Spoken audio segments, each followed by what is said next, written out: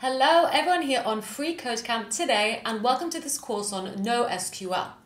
My name is Ania Kubow, and I'm a software developer and course creator on YouTube, as well as your instructor for this video. In this video course, I will be demystifying what NoSQL is, clarifying the difference between SQL and NoSQL, as well as going into a deep dive of the four main types of NoSQL databases. With each deep dive, we will be approaching each learning as an explanation, example, and exercise. So the three E's in order to fully grasp the topic we are discussing. After that, we will go straight into using what we have learned with two real life use cases. By use cases, I mean we will be getting data into real life projects using a document API and the GraphQL API to communicate with our newly made databases. And finally, I will be wrapping up with where to go next. Don't worry if none of this makes sense to you now, this is what the tutorial is for.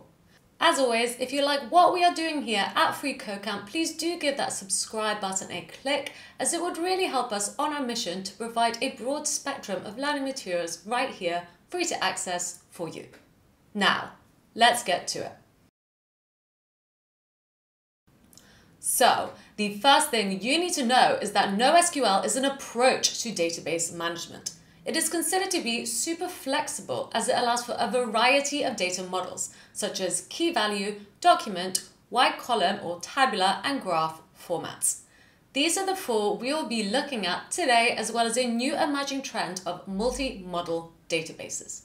So, we have already mentioned that NoSQL databases are casually considered to be flexible, but officially, the defining characteristics of NoSQL databases are considered to be that they are non-relational, distributed, and scalable. Distributed refers to running on clusters of machines globally distributed to support apps at different geographical locations.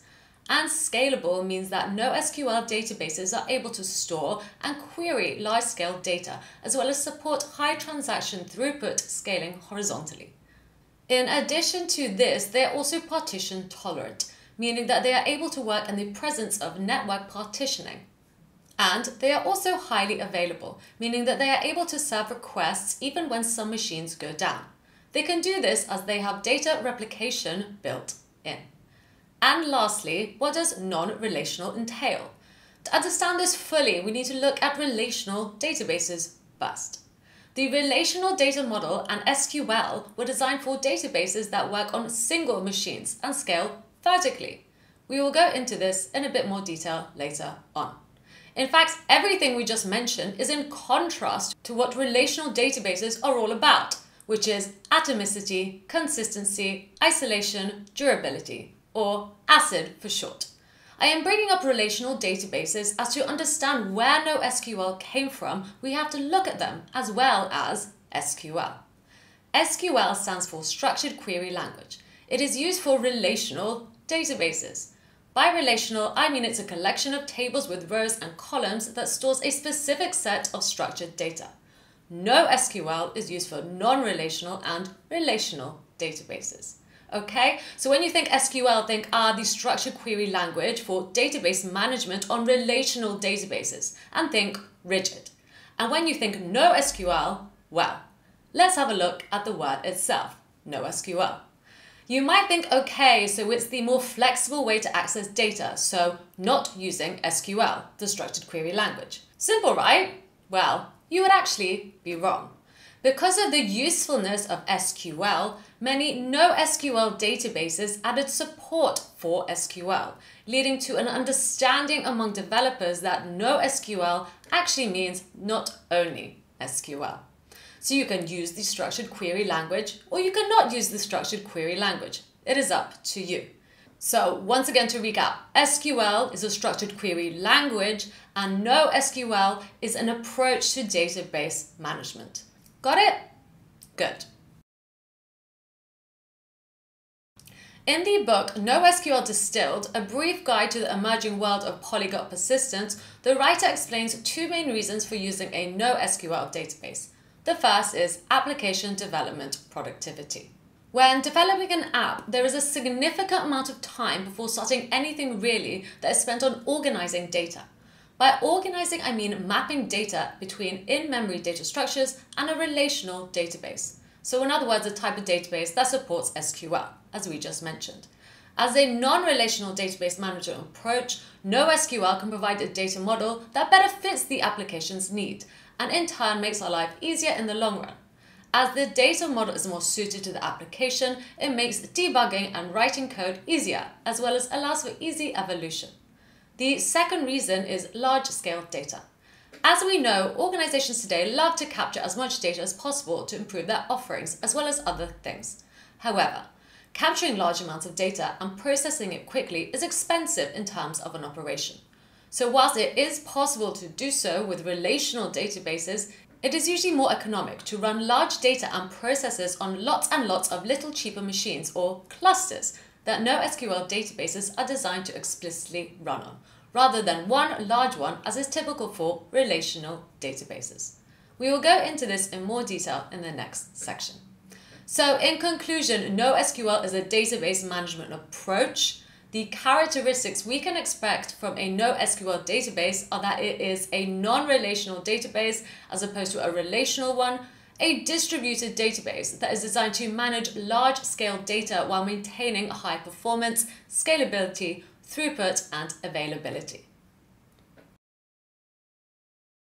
Now, when people look at NoSQL and SQL, they might be tempted to compare the two. But by now, we know that we can't do this. Why again? This is because, once again, NoSQL is a database management approach and SQL is a query language. So two completely different things. It might be better going forward to start referring to NoSQL databases as non-relational databases. So let's go ahead and switch that so we can start comparing them to relational databases from now on. As we mentioned, relational databases use the structured query language, a language that became prominent in the late 1970s. And NoSQL means not only structured query language, which allows you to use the language or not use it to get data. NoSQL's appearance on the scene is noted as somewhere around the 2000s. With SQL, the data is modeled as tables with fixed columns and rows. And with NoSQL databases, the data is not only modeled as tables with fixed rows and columns. Instead, it can be modeled as JSON documents, graphs with nodes and edges, key value pairs, or with wide column or tabular databases, where columns can be dynamic from row to row within a table instead of fixed. With a NoSQL database, the schema is flexible. This means there doesn't have to be any real fixed structure to the data. It can be stored in a flexible schema way. This approach can make development easier due to the high level of flexibility. With a relational database, the schema is fixed they will have rigid data types. So if you want to put a boolean into a column that has been defined to only take integers, the attempt will get rejected. Think of it as a super strict approach. And whilst this strictness can be good, it also comes with its downfalls and can be very time consuming when trying to implement changes. And finally, let's look at scalability. NoSQL usually scales out. This is also known as horizontal scaling. This involves adding more and more machines to the resource pool, rather than adding resources by scaling vertically, like relational databases do. So while NoSQL scales out, SQL scales. By adding more resources, I mean it adds things like a more powerful CPU and RAM to handle workload and improve performance, rather than adding more machines such as servers.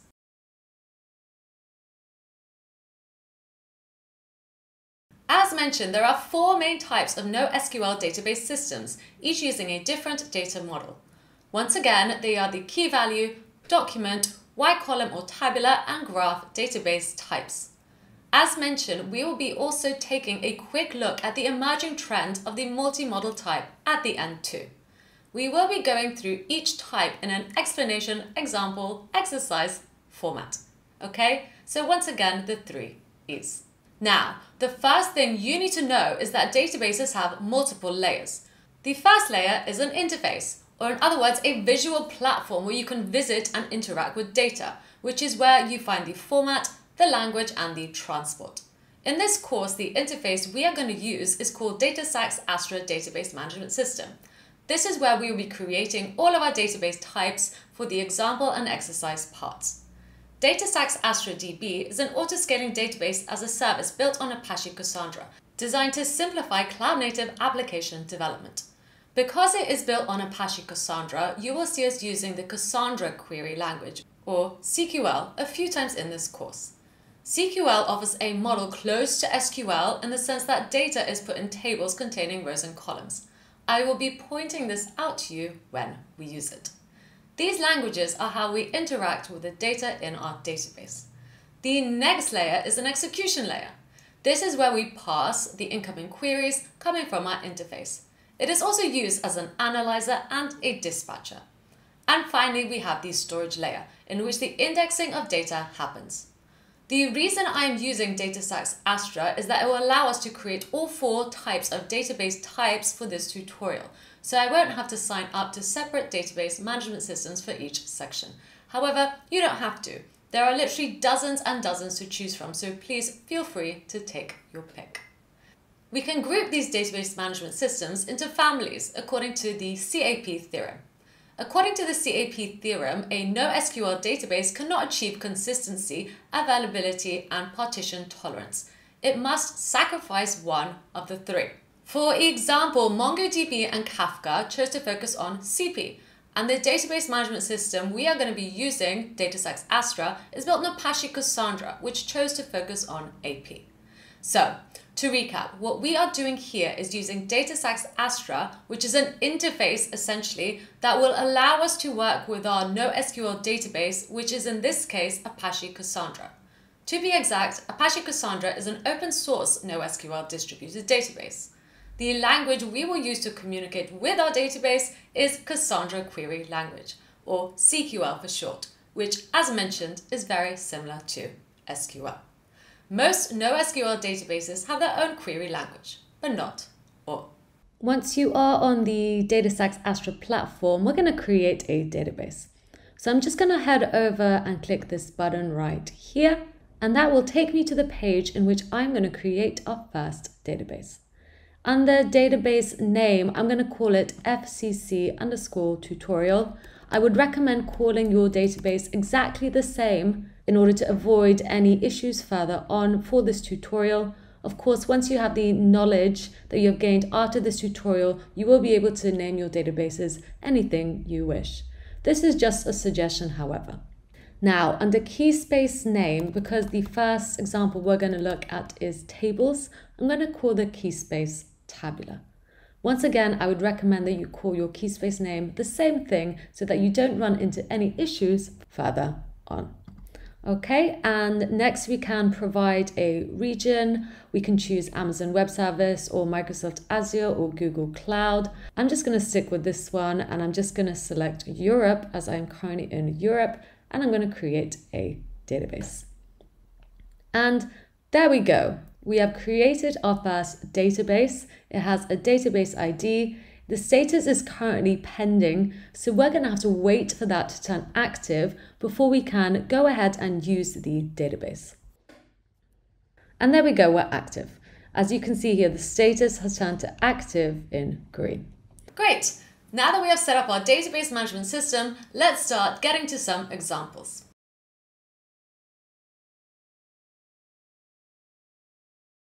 Okay, great. Now let's look at the first database type, which is a tabular database type, also known as a column database type or a wide column database type. What you need to know is that tables are relational and come with a schema. We are going to be making a table called books in this next section and defining what kind of rows the table can take and what kind of types the rows are made of. For example, I'm going to have a table called books and in it I'm going to say that we can only have a row that has a book ID, an author, a title, a year of release, the categories the books belongs to, and a timestamp for when it was added. I'm also going to say that the book ID needs to be a UUID or a universally unique identifier. The author field needs to be some text and the title needs to be some text too. The year needs to be an integer and the categories need to be a set of text and the timestamp needs to be a type of timestamp format and only that. Okay, so what I've done here is essentially define a schema. the next thing that is important to know is that we are going to be saving this row based on a key. This is important as this is how we are going to be retrieving our data with queries later on. Okay, so for example, if my UUID for this row looks like this and I can save it, the only way I can find it is by searching for this key and the whole data row will be returned. This key is also what is known as a partition key. Because our NoSQL database is a distributed database, it means our data can be stored on loads and loads of different nodes. So if two rows have the same partition key, they will be stored together on one node. And when we query for that key, they will both return. Got it? Good. Now let's use this in practice with an example in which we are going to be storing books in a tabular database. So now that we have created the database and it's active to use, let's go ahead and create our first table. To do this, I'm just going to double click on the database itself. It should take you to this page in which you will see the key spaces associated with this database. At the moment, there is one, as we only created one key space called tabular. Great. So now I'm going to do this part using the CQL console. So as we know, tabular databases organize data in rows and columns, okay? So that's what we're going to be doing. We're going to be building a table with rows and columns to store some data using CQL or Cassandra Query Language. The first thing I'm going to do is use a command in order to get our key space. So to do this, I'm going to enter the following command. It is called describe key spaces. And if I hit that, you will see all the key spaces associated with my database. You will also see that tabular is right here. Just to make sure we are all on the same page, a key space is simply a word for a logical grouping of tables. So now that we can see our tabular key space, let's actually get to using it. I can use it using the following command, use tabular, and just hit enter. Don't forget to put these semicolons at the end. Okay, so now you will see that I'm actually in the tabular key space. I'm inside the key space. I now want to create a table inside the key space, and I'm going to use the following CQL command to do so. I'm going to write create table if not exists. Okay, so that is something you're going to need to create a table in your key space, and I'm going to call the table books. Now, I'm going to actually define what goes into my table as well. I'm going to define what it is I want to put into my table and what type it is. Okay? So, for example, if I choose to put in a book ID, I'm then also going to state that this is a unique identifier. Okay, so from now on, I can only use universally unique identifiers or UUID as the book ID. For those of you who don't know what a UUID is, it is a 128-bit label used for information in computer systems. I will show you the structure of it as well as what it looks like when we get to using it later on. Next, I'm also going to say that my table of books is going to have an author. And the author, so whatever value I have as the author, is going to be text. Okay, so a string in other words. We're also going to have a title, which is going to be text, a year, which is going to be an integer, okay, so a full number. We're going to have categories, which is a set of texts, okay? So once again, I will show you what that looks like. We're going to have multiple categories, or in other words, it's going to be a set of texts. And I'm also going to have added, which is going to be a timestamp. I have defined added to be a timestamp. So timestamp is also a type in CQL. And finally, we're going to have a primary key. A primary key in basic terms is how we're going to search for a book in our table. Okay, so imagine our table has hundreds and hundreds of books. We can filter through the table, we can search through the table by the book ID thanks to this primary key right here. The book ID that I've passed through into the primary key is also the partition key that we discussed earlier in the introduction. Okay, so I'm putting in a partition key into the primary key. Great. And I'm just going to close that off and don't forget the semicolon and press enter. And there we go. We have now created our very first super simple table using CQL. Just to make sure that has worked, I'm just going to use the command describe key space tabular. So this time I'm picking out the precise key space and putting the semicolon and then just hitting enter. And there we go. We can see that our table has been created, okay, with the book ID, added, author, categories, set, and year. Wonderful. So now that we have finished our table, we have created our table, let's actually get to putting things into our table. To do this, I'm going to use the command insert into. So I'm going to use insert into. That is a command that we're going to use to insert data into our books table. So I'm just going to write the word books. And then once again, I'm just going to put in a book ID, an author, a title, a year, the categories that it belongs to, and add it. And just click enter. The next thing I'm going to do is actually add the values. So we didn't actually finish off this command. There's no semicolon, so we did not finish off this command. We're just making a new line so it's more readable.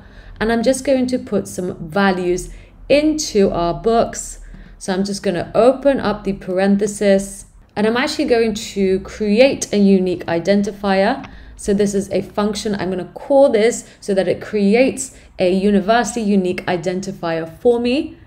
The next thing I'm going to do is write a string of Bobby Brown as we defined author as text. So this needs to be text. It needs to be a string. And then we're also going to give it a title, which is also text. It is a string. So I'm going to put dealing with tables. The next is year, which we defined as an integer.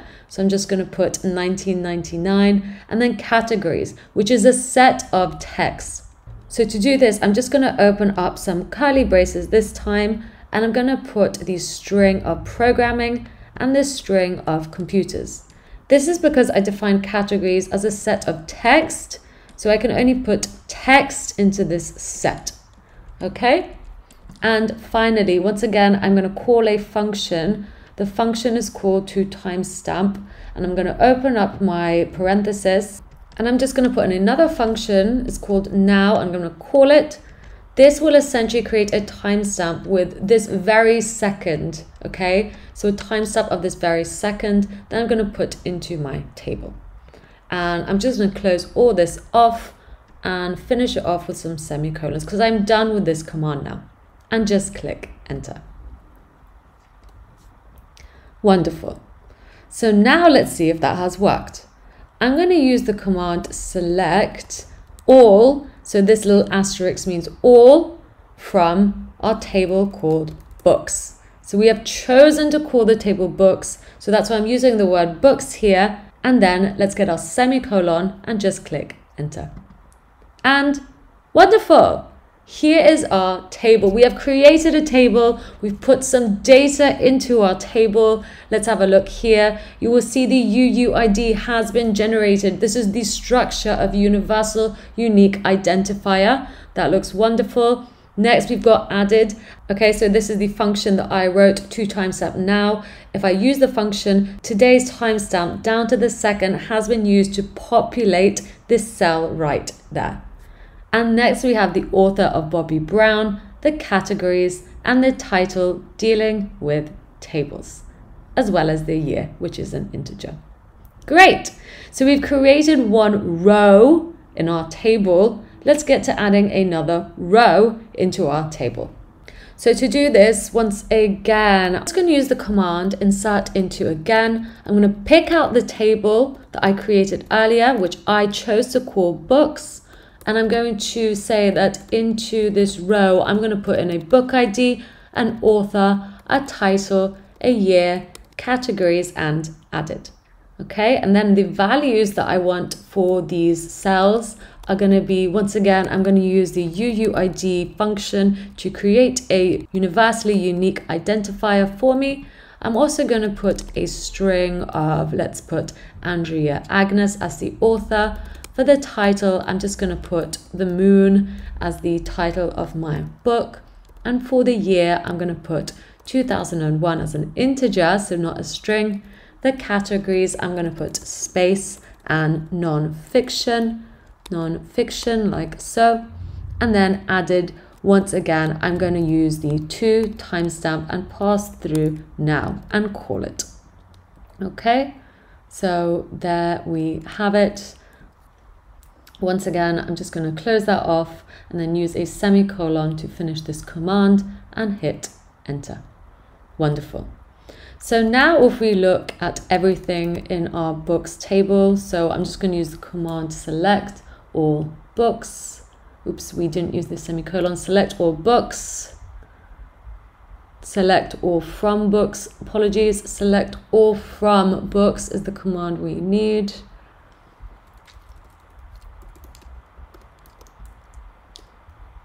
Wonderful. We can see now that two rows exist on our table that we created. Great. This is looking really good. As you can see, a new unique identifier has been generated, a new timestamp, the author name, some categories, a title, and the year as an integer. Great. Now, what if I just want to select one thing from our table? Well, as we mentioned, we know that we can use a primary key to the book ID to do this. So let's go ahead and try do that. I'm going to use the command select all. So once again, select and then we use the little star or asterisk from books. And I'm just going to hit enter. So I'm not going to close off this command yet.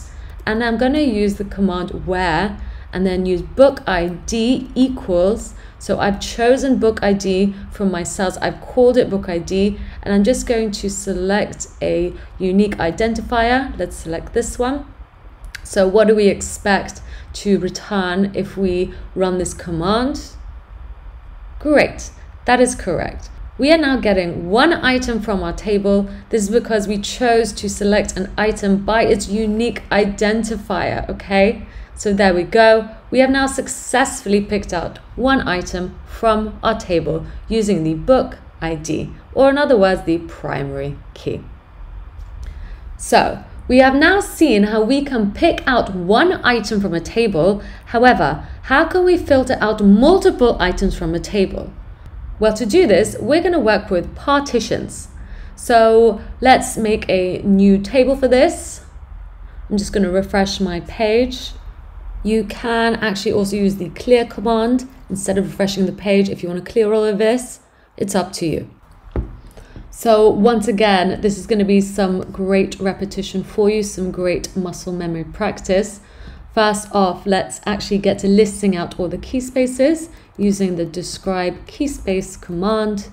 There we go. We can see the key space that we want, the tabular key space. I'm going to use the command use tabular in order to pick out the key space that we want.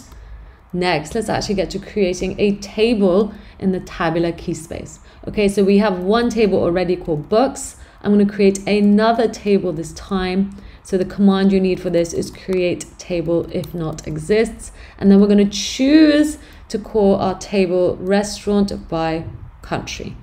Okay, so I've chosen to call my table this. You can choose to call your table whatever you wish. And now in my table, well, I'm going to decide that I want to have the following columns. I'm going to have the country, which I'm going to define as text. Next, we're going to have cuisine, which I'm also going to define as text, a URL, which again is going to be some text. And now I'm going to have a primary key so from our previous lesson, we know that we can search for something in a table by its primary key. I'm going to choose to search by the country. The country is actually the partition key we referred to in the explainer. Okay, so we have a primary key command and we are passing through what we want the partition key to be, if that makes sense. So what I have done is chosen one of the table columns here. I have chosen country to be my partition key and I have passed that into the primary key like so. So now also what is happening is that all my data from now on is going to be distributed in my database based on the value of country. Now, the other values here that I have put, so name and URL, are what we call clustering keys. So what this means is that when I search for data based on the partition key, so in this case it's country, I can make it come back in descending order and URL in ascending order. Okay, so there we go. Let's go ahead and run that command, not forgetting the semicolon, and there we go. Next, let's actually insert some data into this table. So just like before, I'm going to use the insert to command, and I'm going to insert into the table that I have chosen to call restaurant by country. I'm going to open up some parentheses and I'm going to say that I want to put in a country, a name, a cuisine, a URL, and I'm just going to close that off and then start a new line with the values. So open up the parenthesis again, and I'm going to put the string of Poland. The name I'm going to put Vieska Karczma as a string. And then the cuisine, I'm also going to put some text for this. I'm going to put traditional as a string. And then the URL, once again, this is a string. I'm going to put www.karczma.pl and close that off and put the semicolon and click enter. And wonderful. I'm just going to insert another row while we are here. So once again, insert into my table name is restaurant by country. I'm going to open my parenthesis to say what exactly I want to put in this row. I'm going to put in a country, a name, a cuisine, and a URL. And in the next line, I'm going to put the values. This time, let's put Singapore, and I'm going to put the shack as a string this is going to be American food as a string, and the URL is going to be www.shack.sg. Going to close that off, and wonderful. Hit enter. Great. We can also do a third one. So I'm just going to actually press up this time, which will just bring back the last line. And for the values, I'm just going to replace that with United Kingdom. And for this one, let's put the red rose. And I'm going to put pub as the cuisine and as the URL, let's just put redrose.co.uk and wonderful. So now click enter and great. Let's check if that has worked. So I'm going to use the select command this time. Select all. So the asterisk is all from restaurant by country because that is the table name. I want to get everything from the table. Oops, I need to press a semicolon. And great, there is our table. This is looking good. And once again, let's try getting one thing from the table. So select or from restaurant by country, so the table name, where the country equals the string Singapore. Okay, and then just put some semicolons and hit enter. And that should return back the singular restaurant, so the shack, because that has the partition key of Singapore. Wonderful. Now, what do you think happens if we add another row that also has the country Singapore? Well, let's check it out. For this part, I'm going to involve you, I'm going to break to an exercise. So what I want you to do is actually add another line, so another row to our table that has the country Singapore, the name of the restaurant, the hut, the URL www.hut.sg, and cuisine Lebanese. Okay, so go ahead and add one row to our existing table. But before we do that, I'm going to ask you to refresh the page. So go ahead and click that and wonderful. Go ahead. I'm going to pause here while you have a go at doing this yourself before we carry on together. Okay, so first things first, you can of course use the describe key spaces command to list out all the key spaces in your database, or you can just go straight to it if you know which key space you want to use. So I'm going to choose use tabular just like so, making sure that I am in the tabular key space. Next, I'm going to essentially insert a row into the table restaurant by country. So I'm going to do so like so. First things first, I'm going to use the insert into command and I'm going to insert into restaurant by country just like so because that is the name of our table. And I'm going to insert a country. I'm also going to insert a name. I'm going to insert some cuisine and a URL. Okay, so that's what I'm going to do. And I'm just going to make a new line. So don't put these semicolons yet. Insert into restaurant by country. And then I'm going to put in values. And the values are going to be a string of Singapore. And then the name we said is going to be the hut. The URL is going to be www.hut.sg and the cuisine, which is the one we missed, I'm just going to go back, it's going to be Lebanese. Lebanese. Okay, so let's have a look, make sure that it's all correct. Okay, great, and hit enter. So now we have a look at everything. So select everything from restaurant by country there we go. You will see that line has been added. A new row has been added. So now if we do select everything from restaurant, we could actually just press up and then we go where, and then we're going to get the partition key. So country equals Singapore. What do you expect will happen? Ta-da, we get back the two restaurants that are in Singapore. Wonderful. So that is essentially how you would group data together in your table and retrieve that group data back.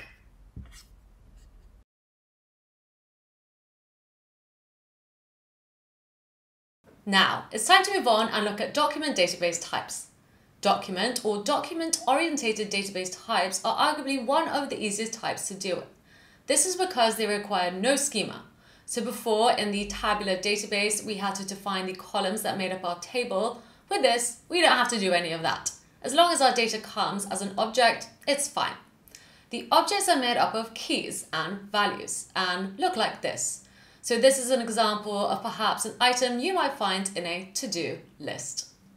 So here you have an object which I've given an ID with a zero, a title with fixed bike as a string, description with a string, and done, which I have in this case given a boolean, but that is not strict. The values can be strings, numbers, booleans, arrays, or even objects themselves.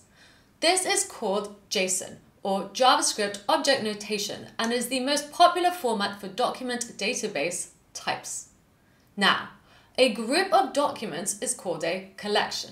So we will not be using the word tables anymore. It has been replaced by collections. So keep that in mind moving forward. So what are we waiting for? Let's get to it. In this next section, I'm going to make a collection of to-do items using a document API. Now, for those of you who haven't heard of the term API, let's do a quick crash course first. An API stands for Application Programming Interface. They allow for technologies to essentially talk with each other and are essential to so many services we rely on today.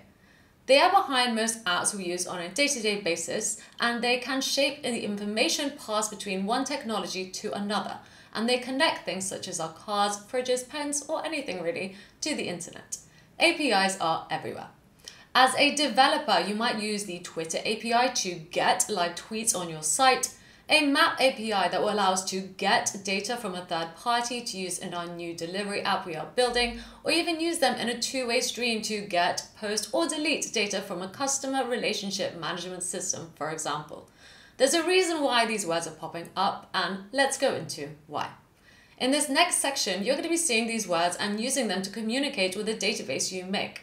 In this context, they are called HTTP request methods. The most common are the GET request, POST request, PUT request, and DELETE request. There are others too, but for the sake of the tutorial, these are the ones you need to know. GET essentially gets data, and that's all it does. So imagine you have a client, or in other words, your computer and a server. You are on your computer and the URL, which is where you want to get your data from, is on a server. The client, so once again your computer, sends an HTTP GET request to the server to retrieve the data we want.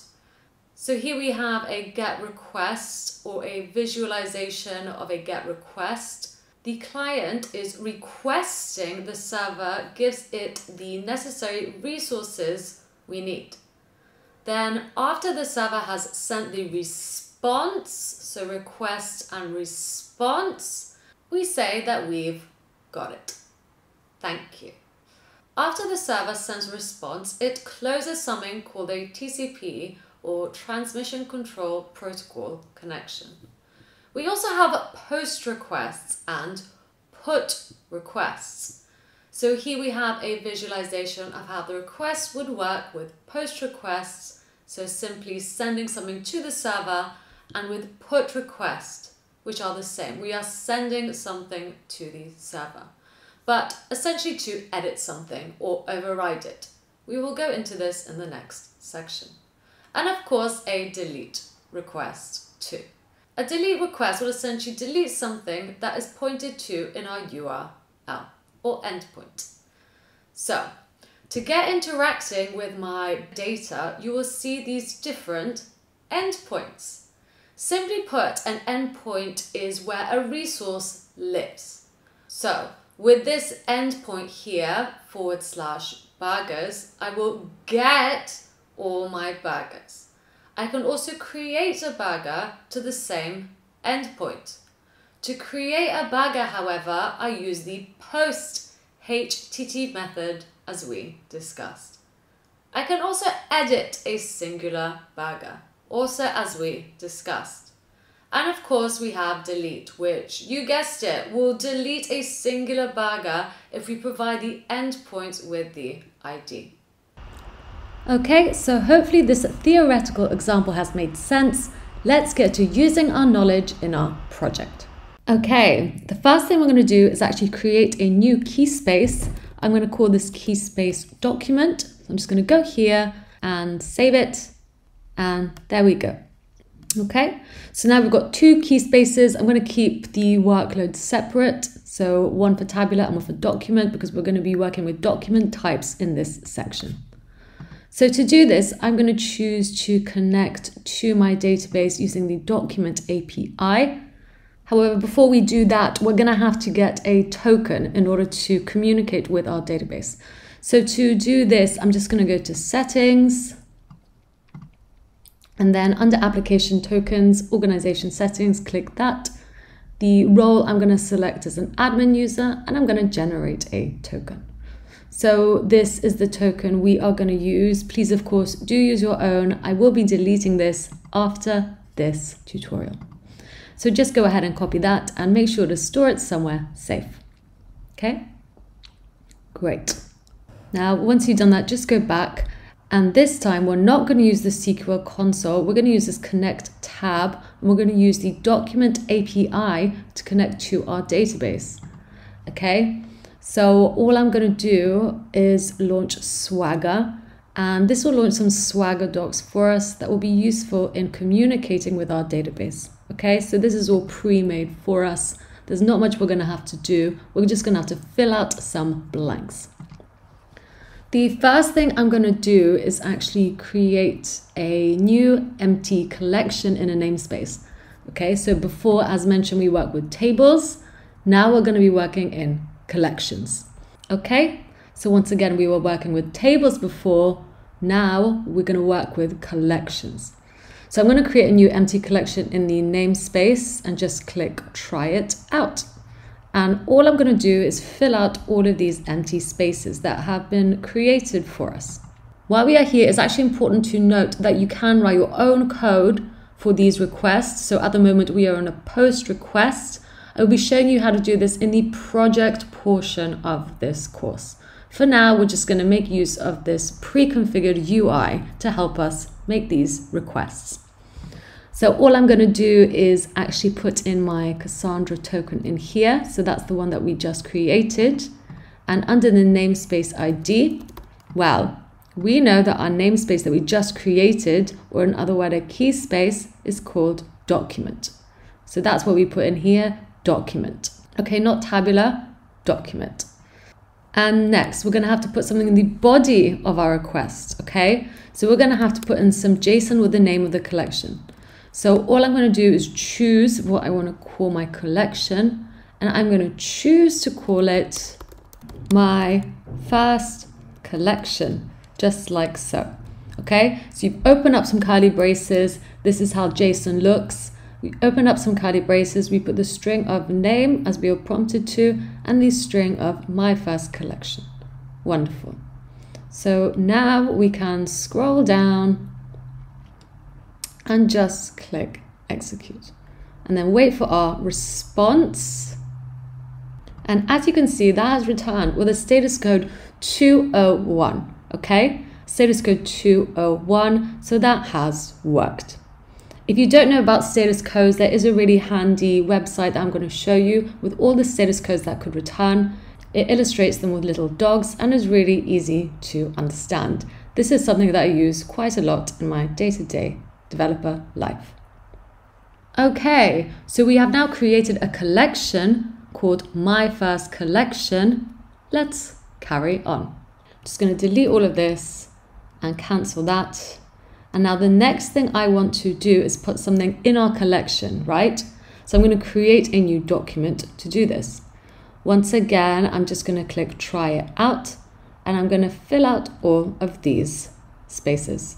So once again, let's put in the token that we just created. Next, we need the namespace, or as it's called on our platform, the key space. So once again, I'm going to put document and in the collection ID, well, the collection that I want to put this in is called my first collection as we just created. And in the body, in the body, I'm going to put in my first item into the collection and this is what I want it to look like. Okay, so once again, we have the curly braces. I've got the string of ID, which I'm going to give it as one. I'm going to give it the title of make dinner and then the description of make dinner to apologize for breaking my housemate's bike. And done is a boolean of false.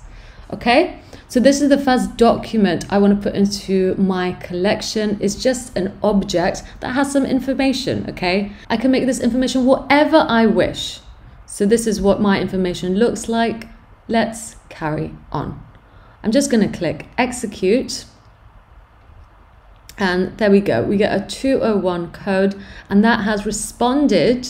We also get a response with this, which is the document ID. So the document we just created, the one with ID 1, the one about making dinner, has this document ID. This is its identifier in our collection. Okay, great. Now let's get to using this ID. So now I'm going to show you how to do two things. I'm going to show you how to search for everything in a collection, and I'm then going to show you how to search for one thing in a collection. So let's start off with the first one. First, let's search for everything in a collection. To do this, I'm going to just select search documents in a collection. And once again, I'm just going to put in the Cassandra token. Let's click try it out. I'm also going to put in the namespace or key space as it's called on our platform. So I'm going to put in document. for the collection, I'm simply going to put my first collection and then I'm just going to execute it. Okay, so I'm just going to scroll down and hit execute. And there we go. We get a status code 200 and we also get the response body. So that is responding with all the data in our collection. At the moment, there's only one item, okay?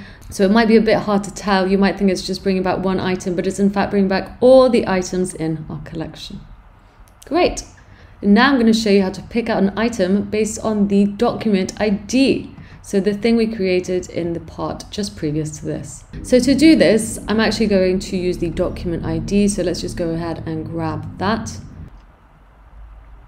And then let's go to get a document. Once again, let's click try it out. I'm going to put in the document ID and then I'm just going to fill this out. So once again, the collection I'm looking in is called My First Collection. And then the namespace is called document and the Cassandra token, well, we just need to paste that in and click execute. And great. So we're returning that one item from our collection, okay, based by its document ID. Okay, so now that I've shown you how to create a collection, add a document to collection, get all the documents back, and just search for one document in the collection by document ID. I'm just going to show you how you would do this in the project part. So all we're going to do, or essentially all that is happening here on this platform, is that we are constructing a URL. Okay, so every time you fill out a field, you are constructing this long URL. As you can see here, we've populated it with a namespace, a collection, and a document ID. So this is exactly what we will be doing in the project part. We're going to be making a request to this URL, however, with authorization. So at the moment, if I just take this URL and I paste it in the browser, you will get a message that says role unauthorized for this operation, missing token. Okay, there are tools that we can use to help us if we do want to view this before building our project. One tool that comes to mind is a tool called Hoppscotch that I use quite often. And then all you would do, so I'm just going to gravitate to hoppscotch.io and I'm simply just going to create a new request here. So all I'm going to do is put in the URL that we just created, making sure that the method is a get request, okay? Because we are getting the data and I'm simply going to put the Cassandra token that we have, so the one that we've saved, the really long one, in the header. So once again, I'm going to get that token. I'm first actually going to get X Cassandra token so we can identify it. And then I'm going to paste my long token. Okay. Once again, make sure that this is a get request because we are getting data from the database and click send. Wonderful. So now we get a status code 200 and we also get some response. We get the response body to be the document we have just created. Great. Before we move on, I'm just going to show you how to do one more thing, and that is search for something by a filtered field. So what I can do, I'm just going to go to search all documents again.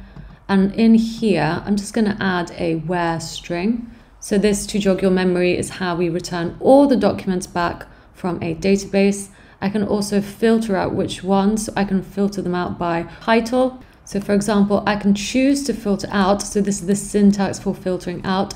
I can choose to filter out by say title and anything with the title of make dinner will be returned back to me. So once again, I'm just going to do that. That is the syntax for filtering out all of my documents and searching for any one that has the title make dinner or any multiple ones that have the title make dinner and then click execute and anything with the title make dinner will be returned back to me. Okay, great.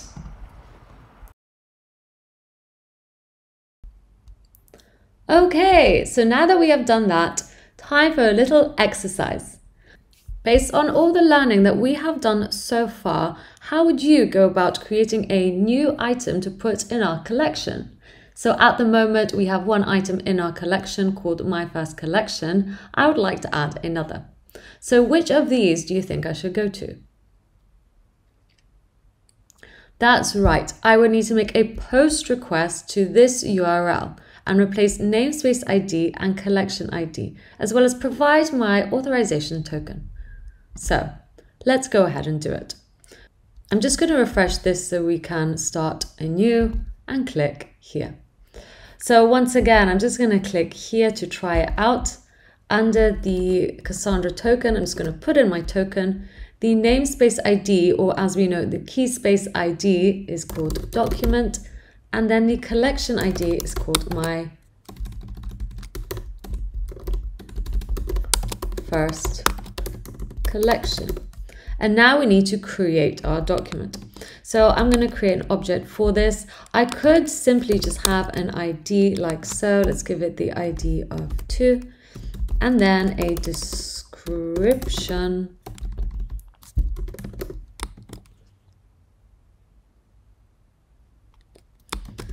and then make it clean dishes after dinner.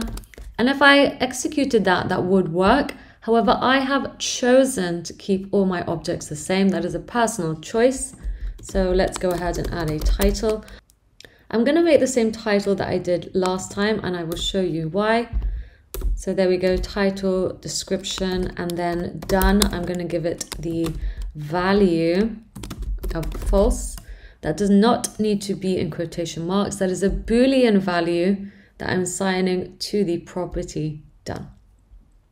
Okay, so now if I click execute, we get a 201 code with the response body that has come back with the document ID for this document right here. Okay, so we've added one more item. I'm just going to add another item. Let's make this ID 10. Let's give it a different title. So fix shoes uh, and take shoes to be fixed with done false.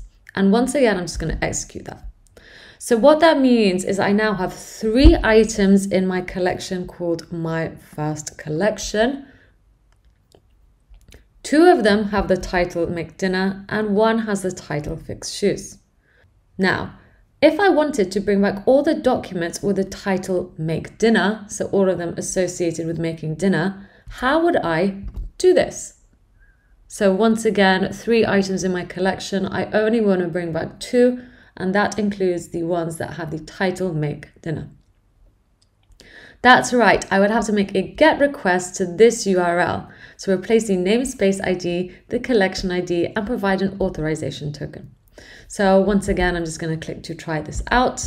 I'm going to grab the Cassandra token. The namespace ID I want to look in is called document, or in other words, the key space name.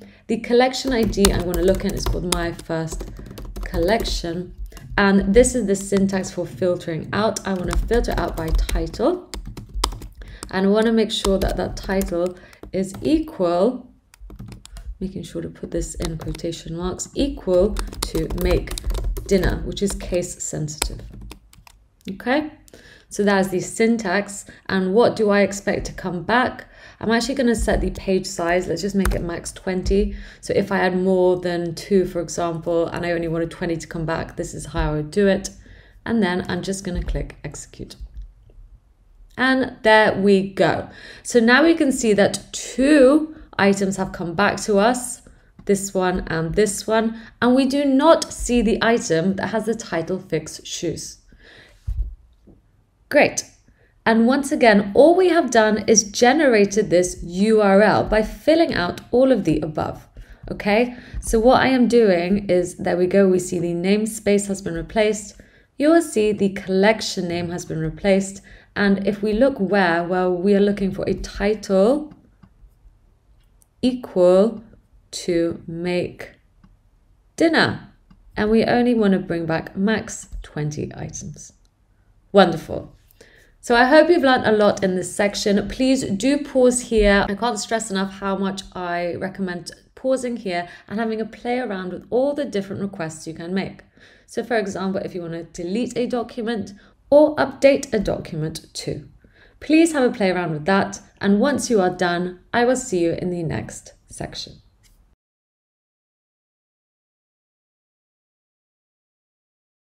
In this next section, we are going to look at the key value databases. They are considered to be the easiest database type and usually come looking like this. So you have a key column and then you have a value column.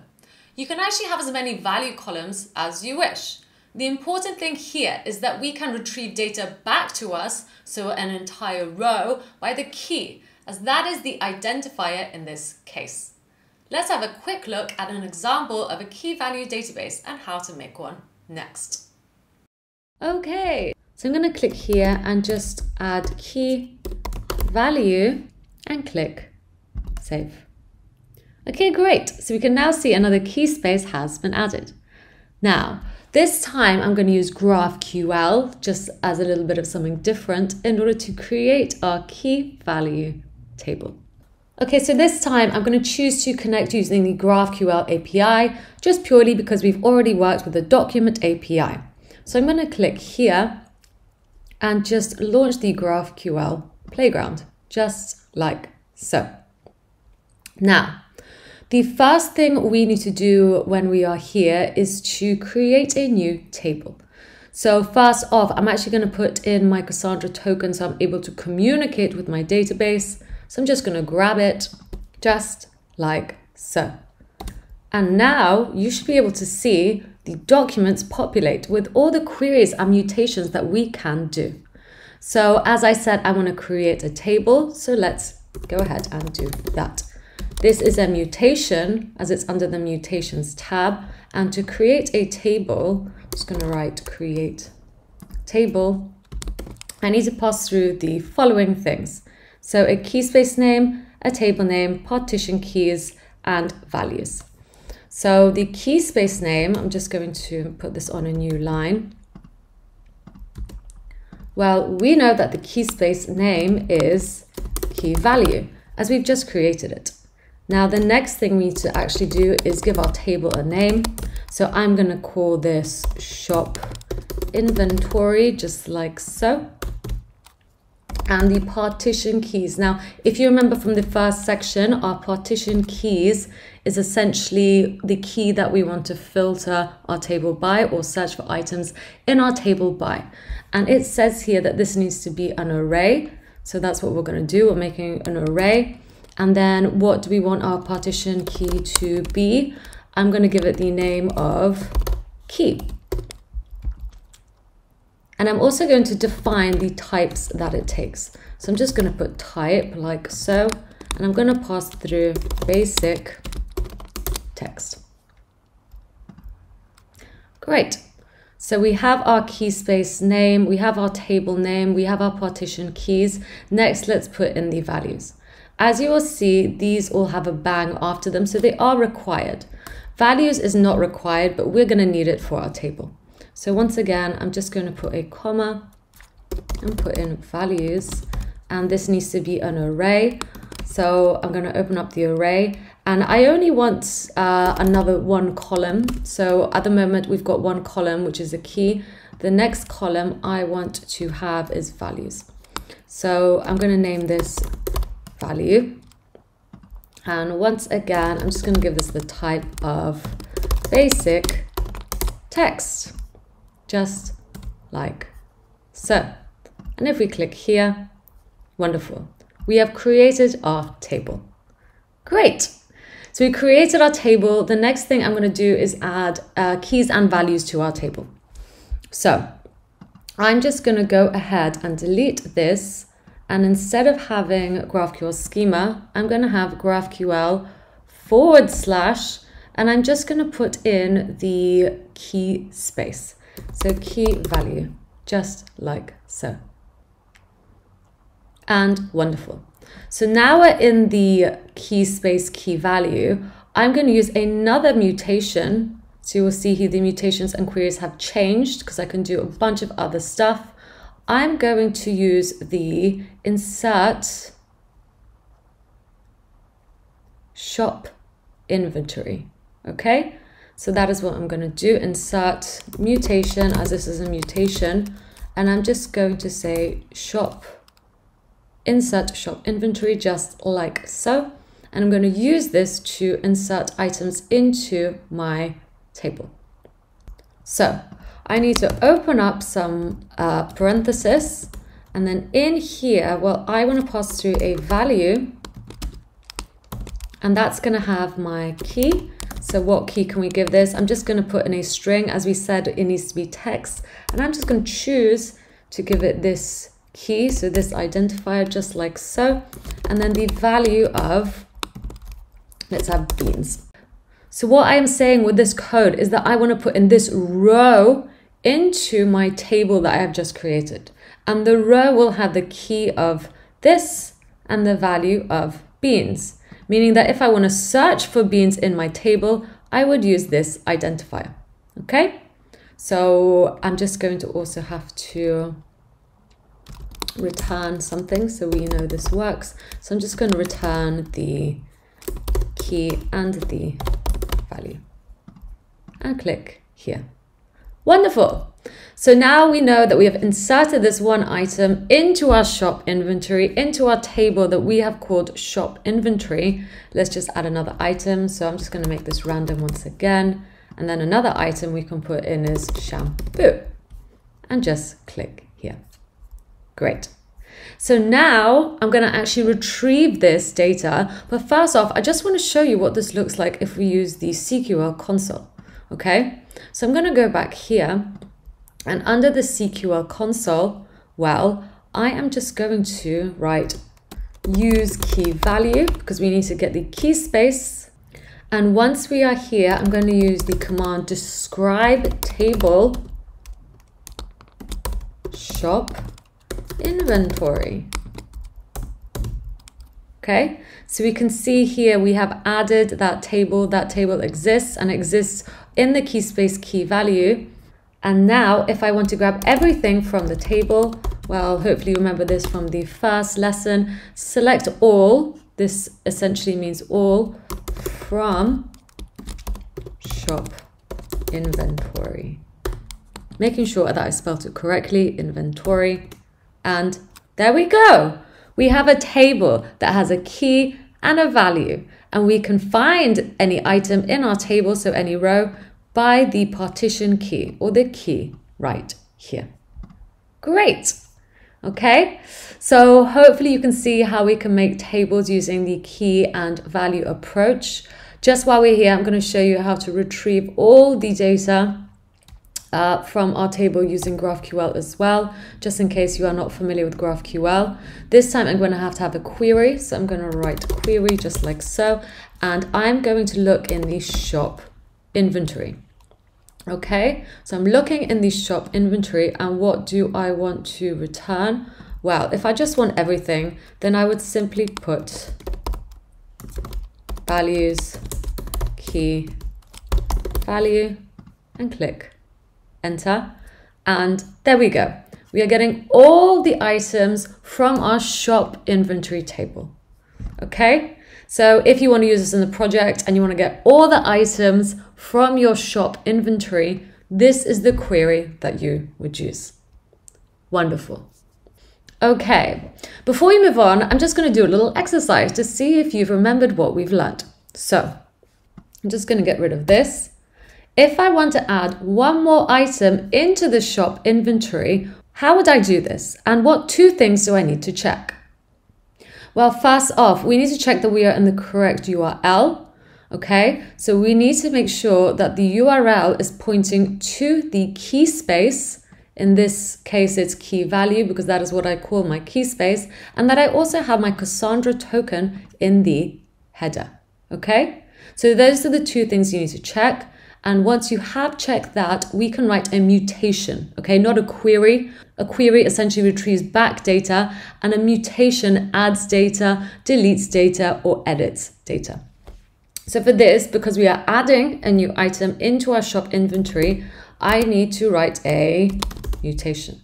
And that mutation is insert shop inventory because I'm inserting into the table called shop inventory. Okay, and what do we need to put in here? Well, we need the values of key and value. And what we're we going to have as the key? Well, once again, I'm just going to put in a random string like that as an identifier. And the value this time, I'm going to put I don't know, Coca-Cola. Okay, great. And just to check this has worked, I'm going to return the values of key and value. I could technically just return one. It is up to you. And just click here. So now because that has returned, we know that has worked. Brilliant. Now, how do you think, and this is something we haven't covered, so this is going to require you to have a little bit of a think based on what I've told you. How do you think we would delete an item from the shop inventory? Well, that's right. Because we are changing the data, we're going to have to find a mutation that will delete from our shop inventory. And because we find stuff by the partition key, so this, we are probably going to have to delete an item by searching for this key right here. So let's check it out. So I know this is going to be a mutation and I can also look in the docs to find the delete shop inventory mutation to help me out. So that is a mutation that I need.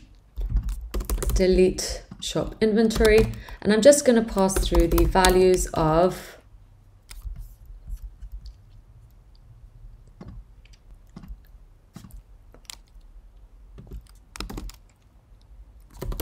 key. I'm just going to grab this one right here. And I'm just going to return the value of key. Okay, and that should have worked. Let's go have a look here. And once again, I'm just going to shop list out everything in my shop inventory and amazing. So we added the Coca-Cola and then we deleted the Coca-Cola too. Great. Now, if I was to say try delete something by the value, so let's go ahead and put shampoo and then just return the value, we will get an error. This is because we cannot delete by the value. We have to delete by the primary key, which we set to be the key. Okay? Wonderful. So I hope you've learned a lot in this section and I'll see you in the next one.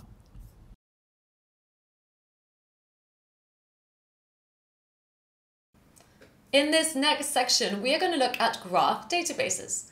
Graph databases are a great way to store data that has relationships between other pieces of data, or in other words, nodes. Each node is connected by an edge to represent this relationship. Think, for example, your friends on social media. Here is you, and here are three of your friends. So you and your friends are nodes, and the connection you have is represented by this line, or as we are going to call it from now on, an edge. Easy, right? But wait, your friends can also be friends with each other. So how would we represent that? Well, by adding more edges to represent the relationships. And as your friendship circle expands, the more complex it can get. So that is the simple idea behind how graph databases work. Let's see it in action. In this section, we will be doing an overview of an already existing demo graph database. The GitHub repository for following along will be given to you in the description below. So once it gets to that, please go ahead and find it below. Okay, so this time we are not going to be using the DataStax Astra interface. We're going to be using the DataStax Enterprise Graph. Okay, so let's go to it. For this part, you're going to have to have Docker installed. So please go ahead and download Docker if you don't have it already, install it onto your machines. Okay, so once you have it installed, it should look something like this. All you need to do when you're here is just click these settings and make sure that the CPU, the memory, the swap, and the disk image size are all around about these levels okay so that is what you need to do make sure that you have at least two CPUs so here you see I have eight and at least three gigabytes or RAM so these are the settings you need once you have them let's carry on. And once you have that done, I'm just going to ask you to get up your terminal and then in whatever directory you wish, please write the following command. So please go ahead and write the command docker network create graph and click enter. So what you should have is this long ID right here. Okay, So once you have that, we are now ready to carry on. This is your identifier for the graph. The next thing I'm going to ask you to do is clone this directory. So this is a directory I will be putting at the bottom in the description. So just clone the DataStax Devs Workshop Introduction to NoSQL and click Enter. Now I already have that in here, so I'm just going to go into the directory cd workshop introduction to NoSQL. And once we are in here, we are free to start the container. So what I'm going to do is docker compose up d and then wait for that to open up in the localhost 9091. So this will take a while. Please feel free to pause here, have a break, and let's get back to it once all of this is complete. Okay, great. And now let's go ahead and visit localhost 9091. Okay, so this is an example from DataStax itself. Please feel free to use it and adapt it as you wish. And there we go. So this is what you should see. Here is the example that is given to us from DataStax. Let's go ahead and first check our connections. So I'm just going to click here and on connections, just going to click on this one right here and just make sure that this is on DSE okay? So this essentially is pointing to our local Cassandra. So once that is done, let's test it out. And great. So we are connected successfully. Let's carry on. Now, let's go back to here and just click on this example one like so. Now you will see that you're prompted to create a graph. So let's go ahead and create our first graph. I'm just going to keep it as studio tutorial graph like so. So just leaving all the default settings. Okay, and I'm just going to click create. Wonderful. Our first graph is now created. Now, if we move down here, you will see a language called Gremlin. Okay, this is the language that we are going to use for this tutorial. It is essentially another query language. Okay, so we've looked at SQL, we've looked at CQL, and now we have Gremlin. It is a graph traversal language, okay? And it has been developed by Apache Tinkerpop of the Apache Software Foundation. With this language, we are essentially creating schema, okay? So just like we have been doing, you will see here that we are adding a schema called God, and we are giving a partition key. In this case, it's going to be the name, which is some text, and it also has a property, which is age, which is an integer, and we are creating it. We are also creating a demigod, which has the same partition, a human, again, which has the partition key of name, a monster, a location, and a titan. Okay, so here we have the code in order for us to essentially create our first graph all about gods and demigods and monsters. So I'm just going to click here to run this. So run this in real time. And wonderful that has been a success. So now if we look down to here, you will see some more code, again in the language Gremlin. So just like we created labels here of God, demigod, human, monster, we have now also included edges. So these edges are essentially how each one is going to be related. So this edge is called father. So this is going to show us a relationship of father and son or daughter. And then also we have mother and brother too. And it will also give us the direction. So a god is essentially the father of a demigod, but also can be the father of a god if someone is a titan. Okay? So that is how that looks. Let's carry on. If we move down, we can see more edge labels. Okay, so we can also write a relationship of who's battled who, as well as father and brother. We can also do where someone lives, or if someone's a pet, and so on. And finally, we can actually add items to our graph. So this is how you would add some items into a graph. So for example, here we are adding Saturn, We are saying this is a Titan, we are giving it the property name of Saturn, and we are giving an age of 10,000, and so on. And we do this for all these other items as well. Okay, so there we go. We are defining the items and we are defining the relationships between the items, or in other words, the edges between the nodes. And finally, we can have a table of what this looks like as well. So here we can see this in table format, but what is more interesting is the graph view. So this is essentially what our information looks like once it has been graphed out with nodes and edges.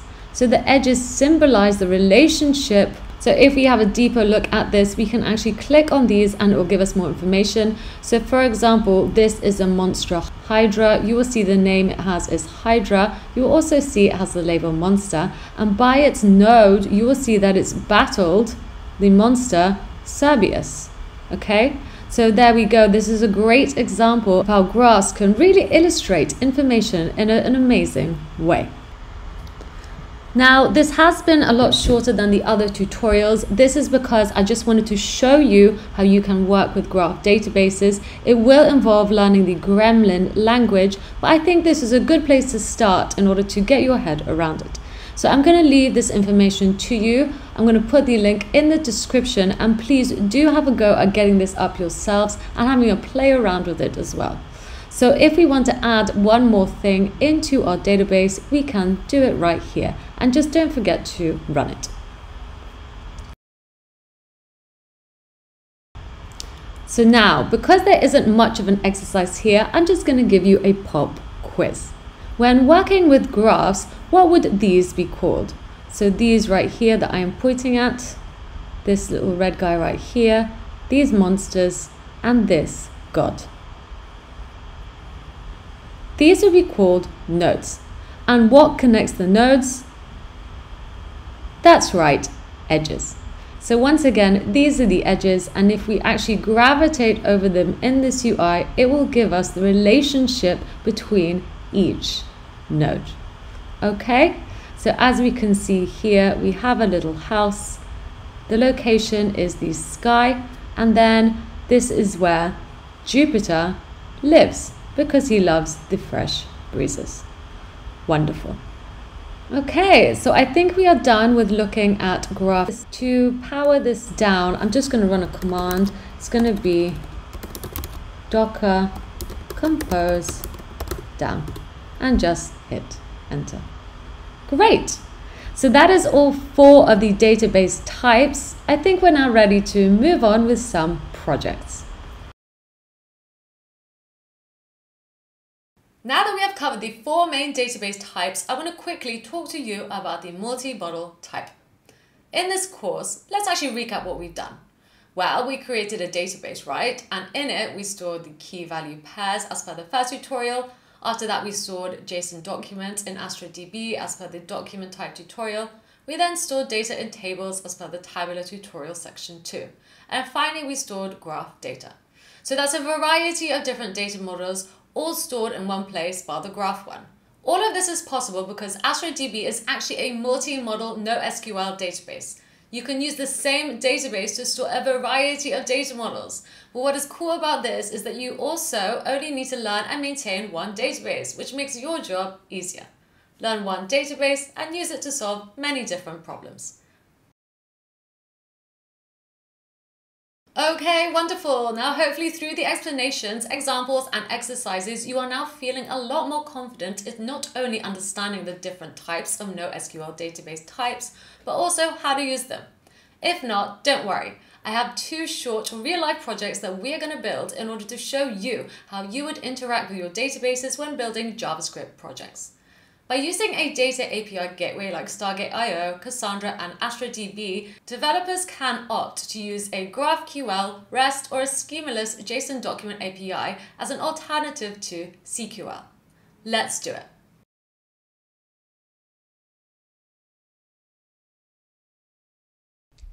Okay, and let's get to it. In this project, I'm going to be showing you how to use the document type as well as the document API in order to create our first project. This project is going to be a app which will show you all your favorite burger restaurants. Okay, so let's get to it. I've actually started with a fresh board. So you'll notice there are no key spaces and we're gonna have to go ahead and create our database again. So I'm just gonna go here and let's call our database project work and our key space burgers. And then once again, I'm just gonna have to create the area that I am in and create a database. Wonderful. So you will see my database is being created and you will see the status is pending. I'm just going to wait for that to be active so that I can go ahead and start using it. And wonderful, the status is now active. Let's go ahead and use our database. So to do this, I'm just going to double click in here and you will see the key space name of burgers. Now, let's get to adding some data. I'm going to do this thanks to the document API as stated. So first off, we need to create a token. So I'm just going to click in here. And the role I'm going to choose is admin user, and I'm just going to create a token. Once again, please make sure to keep this token safe. I would strongly recommend saving it somewhere useful. Okay, so once we have that, let's go back to this documentation right here. Let's go ahead and launch the Swagger UI. So I'm just going to go ahead and click that and these should populate in front of you.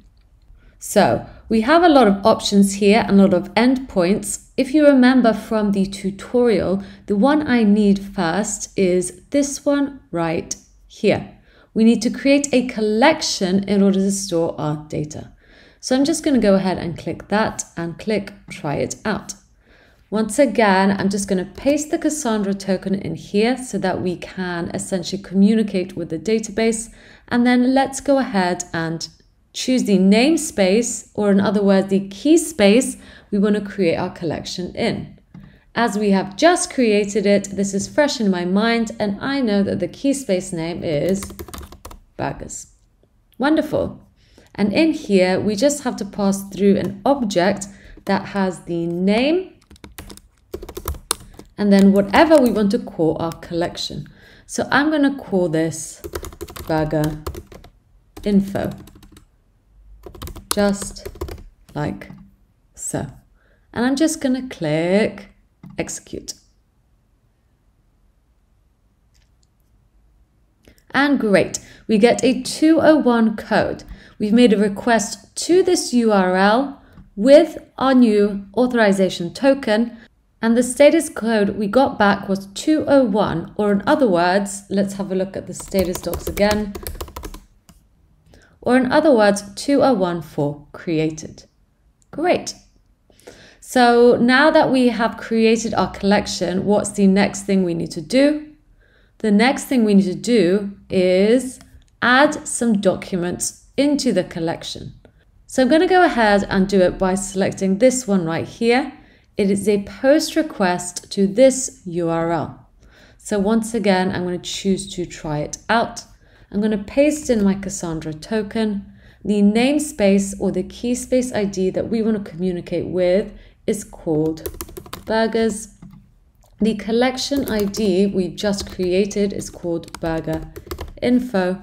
And then the body is essentially the document that we want to put into our burger info. So I'm going to choose for my document to look like this. I'm going to give each restaurant a name. So for example, Bob's Burgers. So that is a string. I've chosen to give it the string of Bob's Burgers. I'm also going to give it a description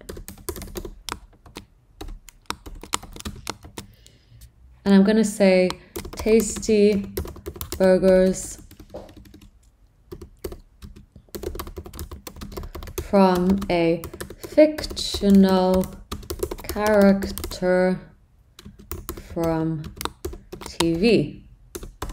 So we've got the name, we've got description. We can also have ingredients and we can do this if we wish as an array.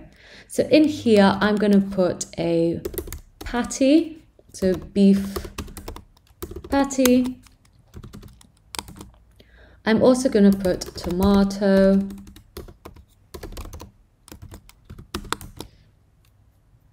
Let's also put some cucumber, some lettuce, and some cheese. Okay, so those are my ingredients. I don't only have to put strings in here, I can also put an array of strings if I wish. Okay, and one last thing that I want to show you is, okay, we can also have booleans. So I can have visited and I can have true, and then I can also visited have objects within objects. So if I put location like so as a property, I can have an object as a value. So that is also an option. Um, let's go ahead and do that. So I'm just going to open up my object and in here I can have so location, address, and then have that to be a string if I wish. So 45 lavender drive. I can also have a, let's do zip code, which is an integer. So I'm going to make this up. And then I can also have the web address. So this is just going to be www.bobsburgers.com. Okay, just like that. So we have a string here, we have a string here, we have an array of strings, we have a boolean, we also have an object which has an address, a zip code as an integer, and a web address as a string. Now let's have a look and see if this is working. We could also give it a unique ID if we don't want it to count from zero. So perhaps let's go ahead and do that. I'm just going to go ahead and Maybe let's start from 340. Why not? Okay, so now let's execute this. And great. Our first document has been created and we also get a document ID that has been assigned to this object right here. So we have one, let's go ahead and add another. So I can just do so from here. Let's go ID 341. This time, let's go Matilda's and Matthews Manhattan Burger Joint and then let's change this up. They have a tofu patty, tomatoes. Let's have a pickle. So pickles. Let's also have some lettuce and then we can have brie. Visited, I'm going to put as false. And the location, let's change this up. So I'm just going to put in a random location. Let's put Denver Avenue. Zip code, once again, I'm just going to make this up. And then let's put M and M progress and just click execute. Great. So we have two documents in our burger info collection. Let's just add two more. So I'm just going to change the ID again and then Let's have Gertrude's place. Hipster hangout in the city as the description and I'm going to have a beef patty. Let's have perhaps something else here. So coleslaw, pickles, lettuce, and there's cheese. Let's have cheddar. Visited, I'm going to have as true. And the location, let's have 103 Darlington Drive. Once again, just make up the zip code. gertrudsplace.com and just click execute. Let's go ahead and just add one more. So there we go. And then let's have fancy burgers, a new location for burger snobs. Let's have a beef patty. Let's also have a onion ring in this one some pickles, some lettuce, and let's just have some generic cheese. Visited, I'm going to put as false. Location, I'm going to put one Walter Street. Let's make this up and have fancy burgers. Com and click execute. Great. So now we have four burgers in here, but let's just double check this has worked. So to get all of our burgers back, I'm going to search documents in a collection. So I'm just going to go here. This will be a get request as I'm getting the data. I'm just going to paste in my token right here. I'm going to look in burgers, as that is what I called my key space. The collection ID is called burger info. And then I'm going to say that I'm going to have a max of 20 come back and I'm just going to click execute. And there we go. We can see all four of our burgers coming back to us. Great. So that is exactly the data that we need. Now let's get to using this in a project. So essentially what I want to do is build a project in which I'm going to be making a request to this URL right here and passing through my authorization token. So let's do it.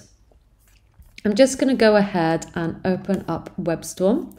So I'm going to get up my WebStorm project and I'm going to say this is a React project. So let's call this Burger App just like so. And I'm going to use the create react app command in order to build out a React project for me all configured so we can go. So I'm just going to click create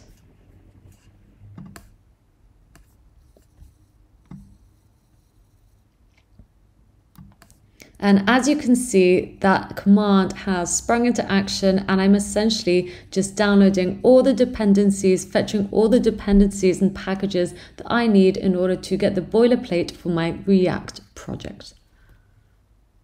Of course, if you're not using WebStorm, please go ahead and get to this point as well. All you need to do is create a project in your directory using the command npx create react app. Great. So now that we have that, let's get to it. So as you can see here, the npx create react app has essentially populated all this for me with the following packages and written these following scripts. Okay, so these are the dependencies that have been installed and these are the files that have come with create react app. So if I actually run this, I'm just going to go ahead and click npm start like so.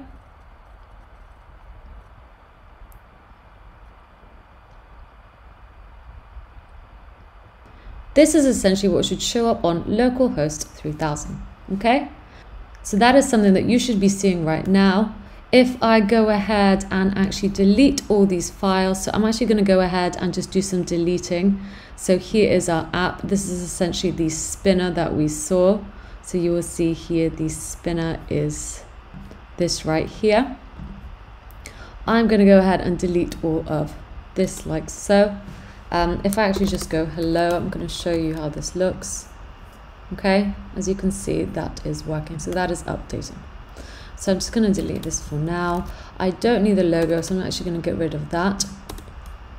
I don't like to use semicolons, so I'm just going to delete that. And I like to use functional expressions. So I'm just changing this as this is my preference, but you are free to keep it as, uh, as you wish. So there we go. We don't need the logo, so I'm just going to go ahead and delete that from this project.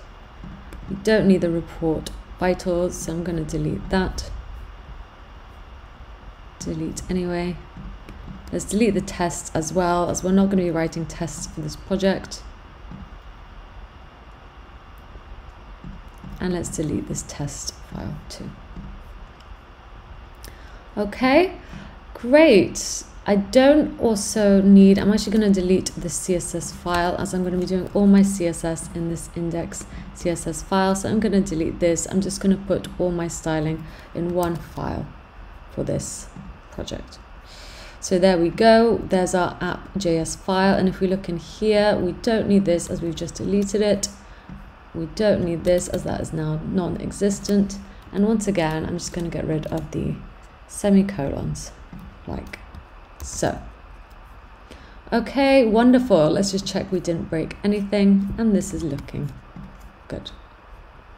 Let's get my console log out too. Okay, so now that we have a blank slate, let's get to actually getting our data. So to do this, I'm going to have to create a little mini backend. So just in the root of my project, so on the same level as git ignore, I'm going to create a new file. Just a new file like this, and I'm going to call it index.js. Okay, so there we go. This is essentially going to be my mini backend in which I'm going to build a backend using Express. So first things first, let's decide what port we want our backend to run on. I'm going to decide that I want my port to run on 80,000, 8,000, sorry. And we're going to have to install a few dependencies for this. One of them will be Express. So we're going to use Express for this project. I'm going to use require Express. So I'm just going to get up my terminal and install Express like so. I'm also going to need cors Morgan uh, node fetch so we can do fetching in the backend and .env for storing secret variables. Okay, so please go ahead and just install these dependencies and I'll talk you through them as we use them. Okay, so I'm just going to leave that to install and let's go ahead and just uh, actually use them in the back end of the project. So require the package cors and then const morgan equals require Morgan. Morgan is actually a package that we're going to use in order to, I'm going to show you what it looks like. So I'm just going to go npm Morgan. It's essentially going to help us debug the backend better and make everything a little bit more readable. So this is the package if you want to have more of a look. It's essentially a little logger that will give us more information when we use it. And once we do use it in our project, so once we do essentially uh, do this. So we're using the package and we're storing it as Morgan. We've done the same. We then need to pass tiny into Morgan. Okay, so this is essentially what is going to let us debug better. So as you can see, I've got the package and I'm storing it under the const Morgan and I'm just going to use Morgan and pass through tiny so we can use the logger better. Great. So we've got Morgan. The next thing I need is a package called node fetch. And this essentially works sort of similar to the fetch API and will allow me to make fetch requests on the backend. So just like that, that's how I'm going to use fetch. Just to be sure that everyone is using the same packages, please be sure to be using these packages that I have right here. There could have been updates, so to prevent any issues, just make sure that these are the ones you are using. Or if you're in doubt, please feel free to check out my GitHub project that I will share with you in the description of this video below. And finally, we also need uh, the .env to, so .env package will allow us to read secrets from the back as well. And this is how you would initiate it. Okay, so all I'm doing is actually getting this from the documentation. I'm doing this from memory as I've used these so many times. But if we search here,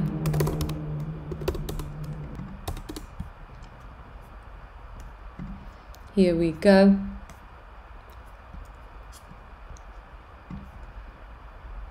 As you will see, all I'm doing is taking this and using it in my project in order to use the .env package.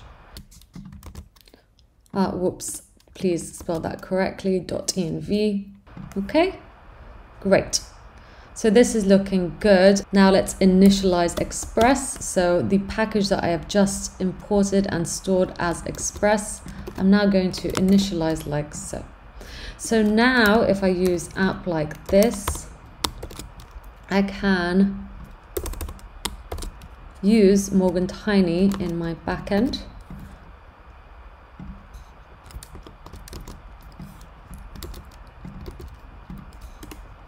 I can also use CORS.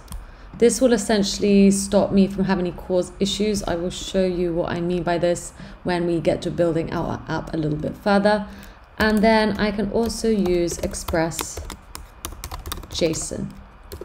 Okay, and this will essentially allow me to read the JSON in a way that I can use it in the backend. Once again, I will show you what happens when I don't use this. Okay, so just make sure to have all of these like so and all this boilerplate done so we can start coding. Okay, so please pause here, make a note of this. I'll make it a little bit bigger so you can see everything a little bit clearer. Once again, things to remember are please do make sure your index.js file is in the root of your project. Okay, so on the same level as package.json.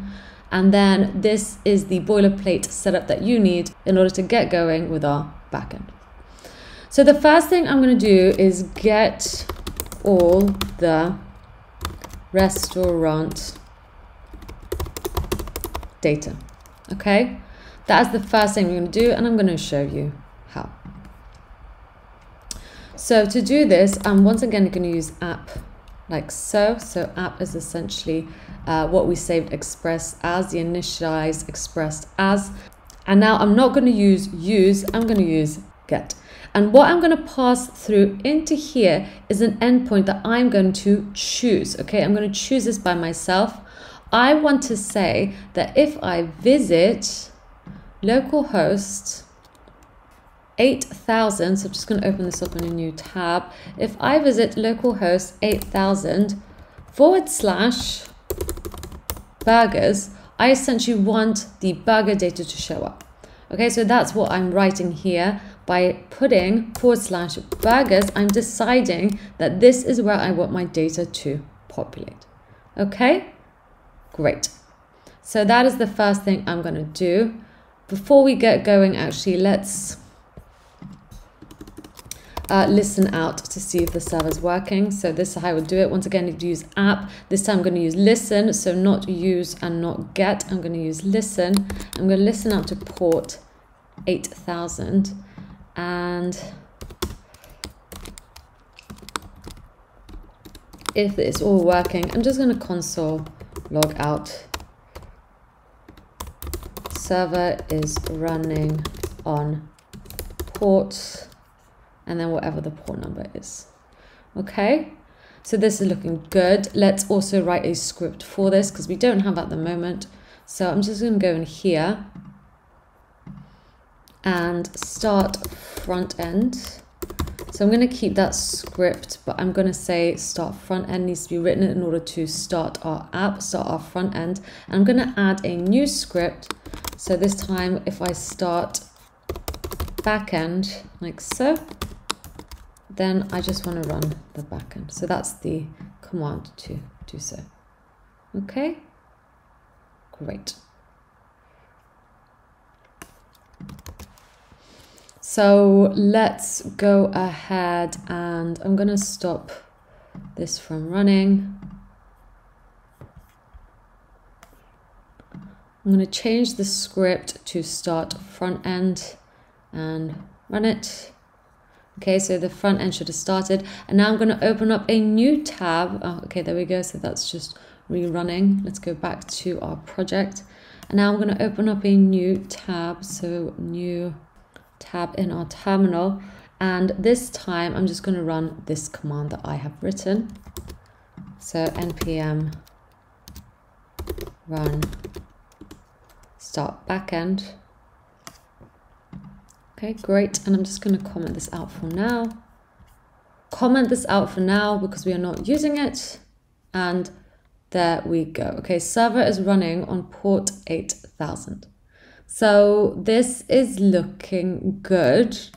Um, obviously, at the moment, we don't have anything coming back. So I'm just going to continue with this. So if we visit this endpoint, what do we want to do? Well, we want to fetch the data. So for this, I am actually just going to, don't have a request or a response. Let's just have it in here for now and we might change that later. And then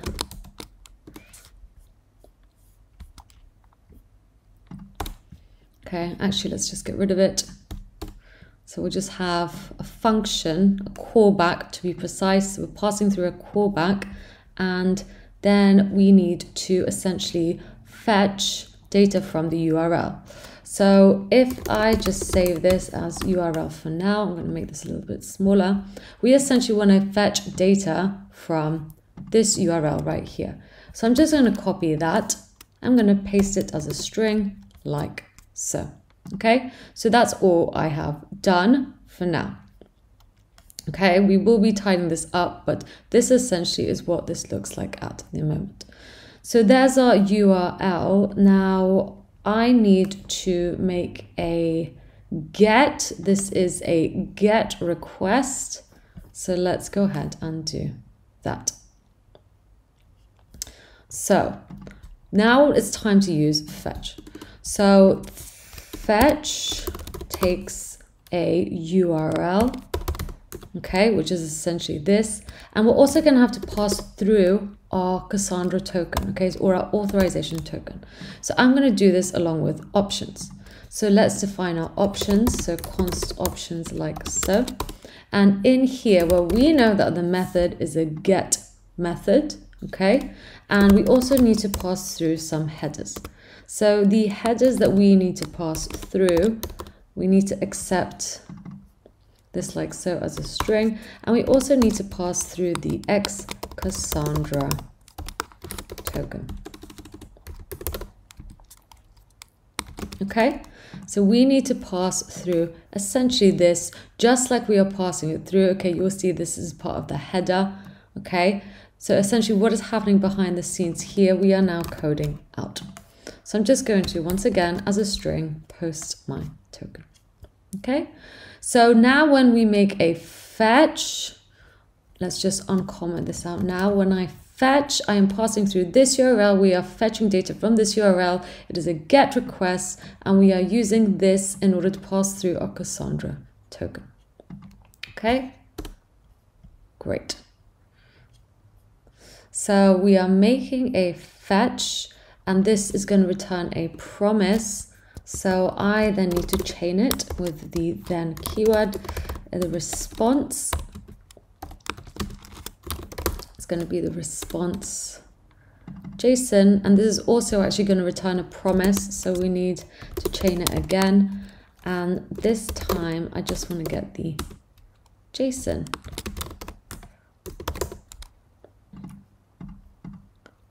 Okay. So great. Now we do actually need to pass through a request and response. So let's just do that now. Okay, so whatever's coming back to us, we need to view as JSON and then let's catch any errors. So I'm just going to catch the errors by console logging out any errors that return so we can see.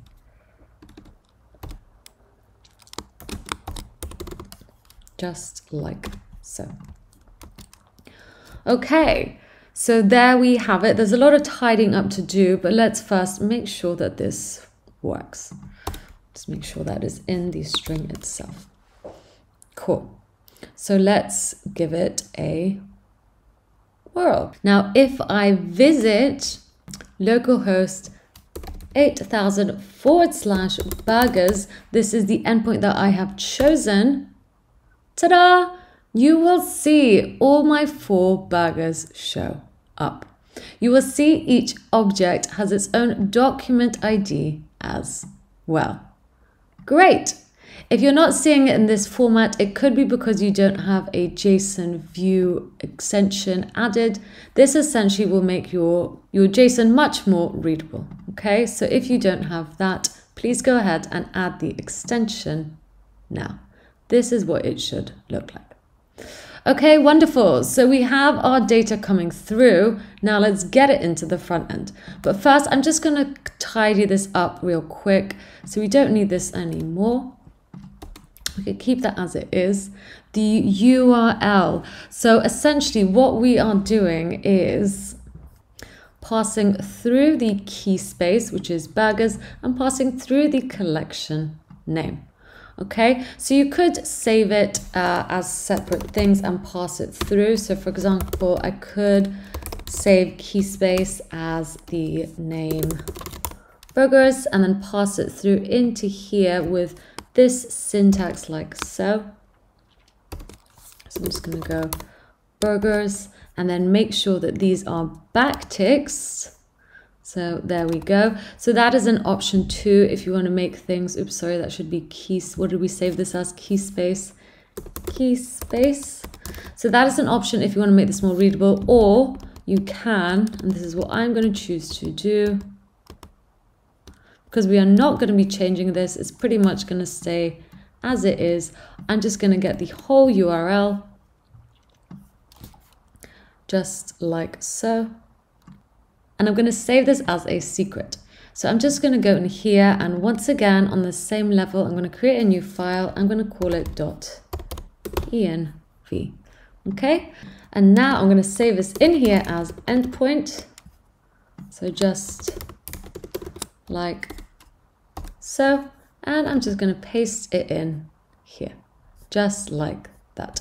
So there we go. And now to access this right here, I'm going to use process env endpoint. Okay. So this wouldn't work if we didn't uh, have this package and didn't use it just like so. And now I think we have to rerun this. Let's just check that out. Okay, no, that seems to be working as it is. Great. So we've saved our URL as a secret back here. One other thing that I'm going to save is my Astra token. Okay, so there we have it. And once again, I'm just going to save all of this. I'm Just going to grab that as it is and use process env and then whatever we called it in our Astra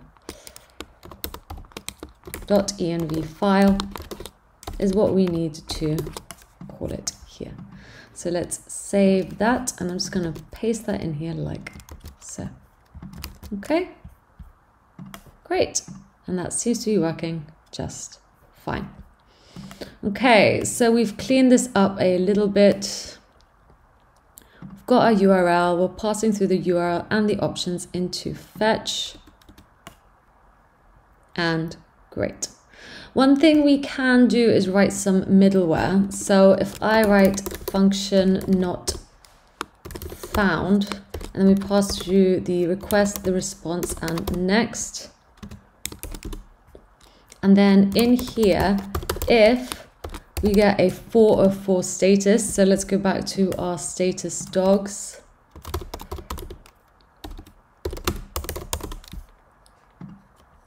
Okay, so you will see that 404 means not found. So if we get a 404, well then I'm going to create a new error and that error is going to say not found. So we're just making debugging a bit easier with this. We're going to get the message that says not found. Okay, so that is what we are going to do. And then if it's none of these, I'm going to move to the next function, which is just an error handler in general. And it's going to be less specific, uh, an error handler. Uh, I'm going to pass through the error, so this error right here, and then the request and response. And this time, if the response, if the status code is whatever the status code is, so whatever it comes back as, or 500, so any error, or sorry, any status code or 500, then I want to send a message that is whatever comes with that status code. Okay, so there's two ways of doing it. So I'm just going to show you what this means. Okay, so now let's get to using it. So once again, I need to write app use, and I'm going to use the function not found. And I'm also going to pass through the function error handler, just like so. Okay, so what I've written means that if I say misspelt this URL, if I wrote burgers like that, I get the message not found. I get the error message not found. However, if I didn't have this, so I'm just gonna comment that out and I go to here. Oops. It's actually all of these. See, it just says cannot get burgers. It doesn't really tell me why. It doesn't give me enough information. However, if it's not found, so 404, I'm essentially telling it to show me an error that says not found. Okay, so that is how we do that. And then any other error, we get a different error message. So we essentially just get the error message that goes with these status codes. But this way we can be more specific. So I can go, hey, you are in the wrong place, buddy. Hey, you're on the wrong place, buddy. Okay, so cool. Just gonna put it back to something more general. Okay, so we are getting all of our burger data. Now let's get to using this in the front end of our project. So once again, these are all the packages that I have used or the dependencies I've used. Just make sure that you're using the same versions. Okay, great.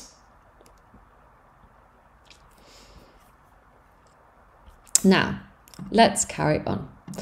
So essentially for my front end, so we can shut down the back end now. In my front end, I essentially want to get all the data from this URL so we can use it. So let's go ahead and do that. To do this, I'm actually going to import another package. So I'm just going to get up my terminal and I'm going to install the package Axios. Okay, this package is essentially going to help you make the uh, requests and fetch the data. So let's go ahead and do it. I'm going to write a function right in here. So uh, a function to get the data. I'm just going to call it const fetch data like so. So this is a functional expression. And this is actually going to be an async function. Now, to fetch the data, I'm going to use Axios. So let's import Axios import Axios from Axios. Once again, this is the package that I am using of Axios. So import Axios from Axios. And now I'm going to use Axios and I'm going to make a GET request to get the URL, this URL right here.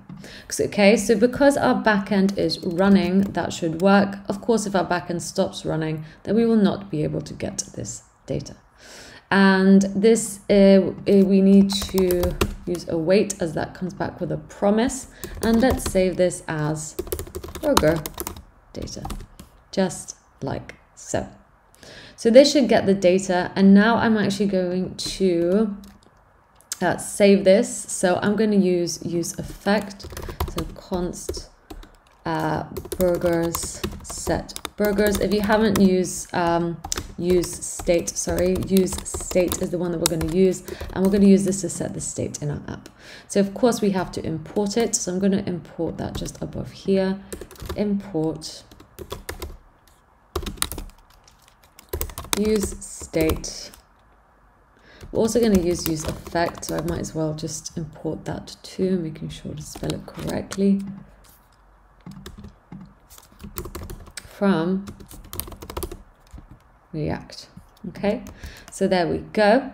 So essentially, if I now use set burgers, so at the moment our state for burgers is null, but if I use set burgers, I can set burgers to whatever I wish and I want to set it to the burger data, just like so. Okay, so let's check this out. Let's see if this is working. So what I now need to do, I'm just going to use use effect for this. And I'm going to pass through a callback function that will essentially fetch my data just like so. And I'm just going to pass through an empty array so that this doesn't keep on fetching over and over again. So let's go ahead and do that. Let's see if that has worked. I'm going to console log burgers and see what happens. So let's go back to our front end. So localhost 3000, just inspect the page, the console log out and there we go. So this is what burgers looks like now. We actually just want the data. So we're going to go into the burger data, data, and there we have our four burger objects. Great. So I'm just going to go ahead and do that. So burger data, data, data. And let's see what that looks like now. Okay, great. So there we have it. We actually have an object of four objects. Cool. So this is looking good. Um, there you go. As you can see, there they are with their ingredients and locations and so on. I'd actually like to make an array out of this so it's easier to work with. So I'm going to show you how to do that. So just here is where I'm going to change this into an array. Let's actually just save this as data this time. And I'm going to get the burger data data.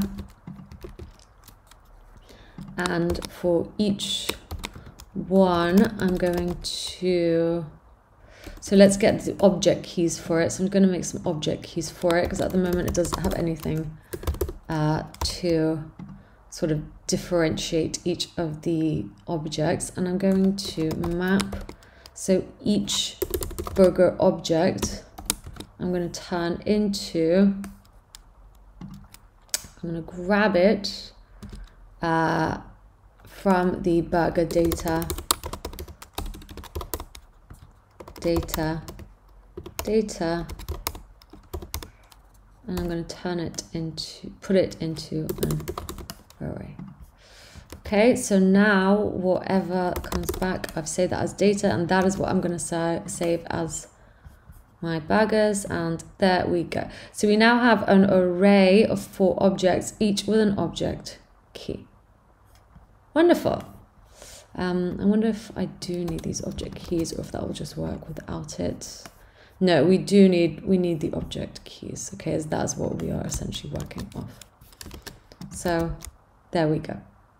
Wonderful. So we have our four burgers.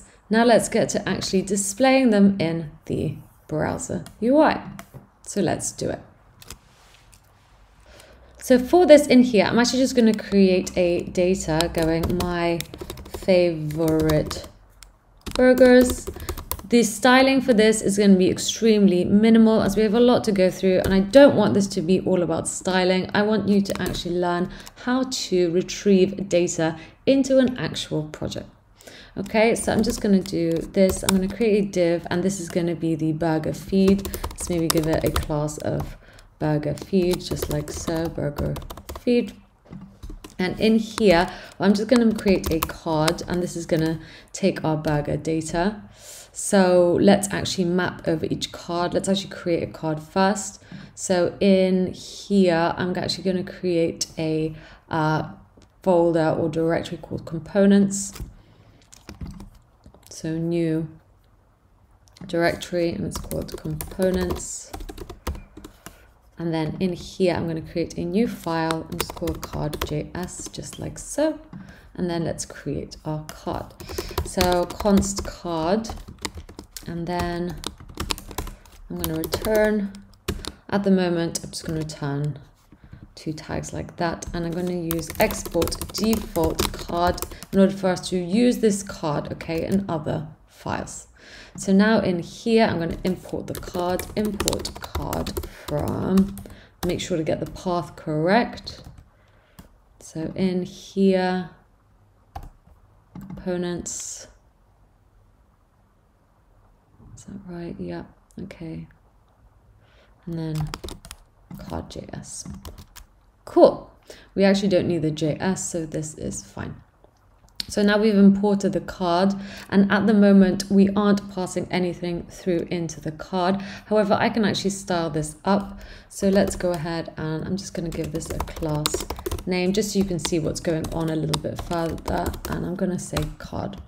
And now in here in my style sheet, anything with a class of card, I'm just going to give a, let's give it a height for now of 200 pixels a width of, let's say 80 view width, and a background color of, uh, what color should we go? Cornflower blue, border, radius, 40 pixels. Okay, so at the moment I've just put in a card. So there we go, that is, uh, that is my card. Now if I map all my data onto this, okay, onto each card, it will actually produce as many cards as I need. In this case, it's going to be four. So let's go ahead and do that. I'm just going to pass through some props into this card.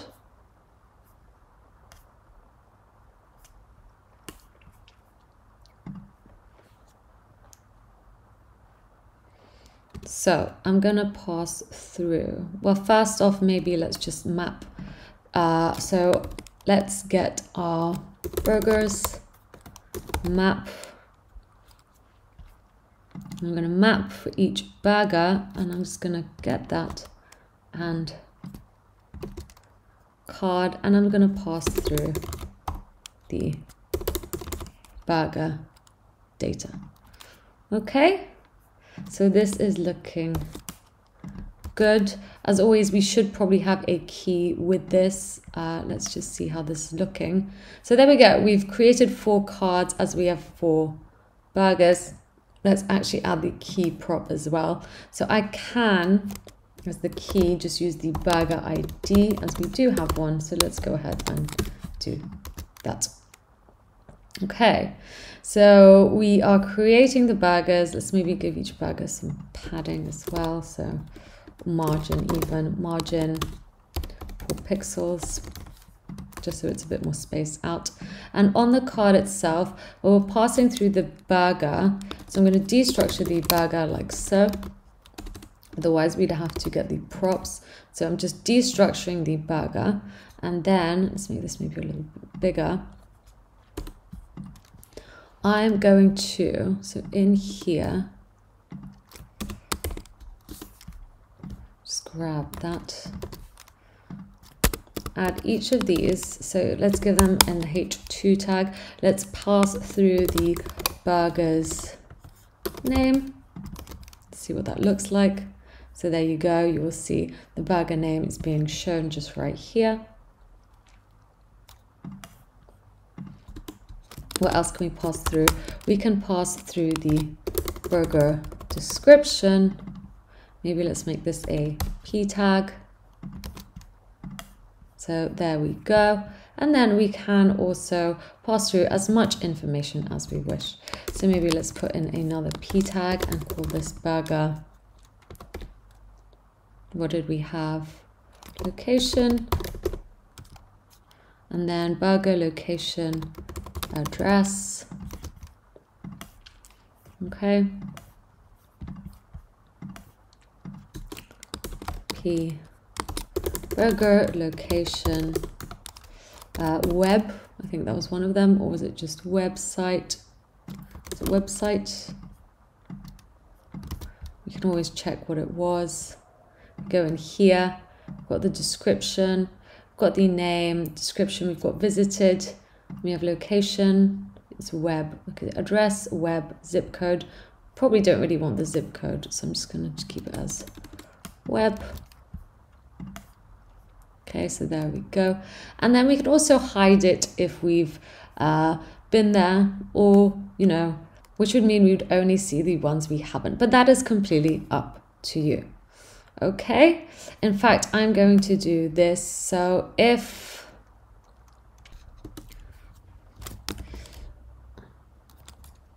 burger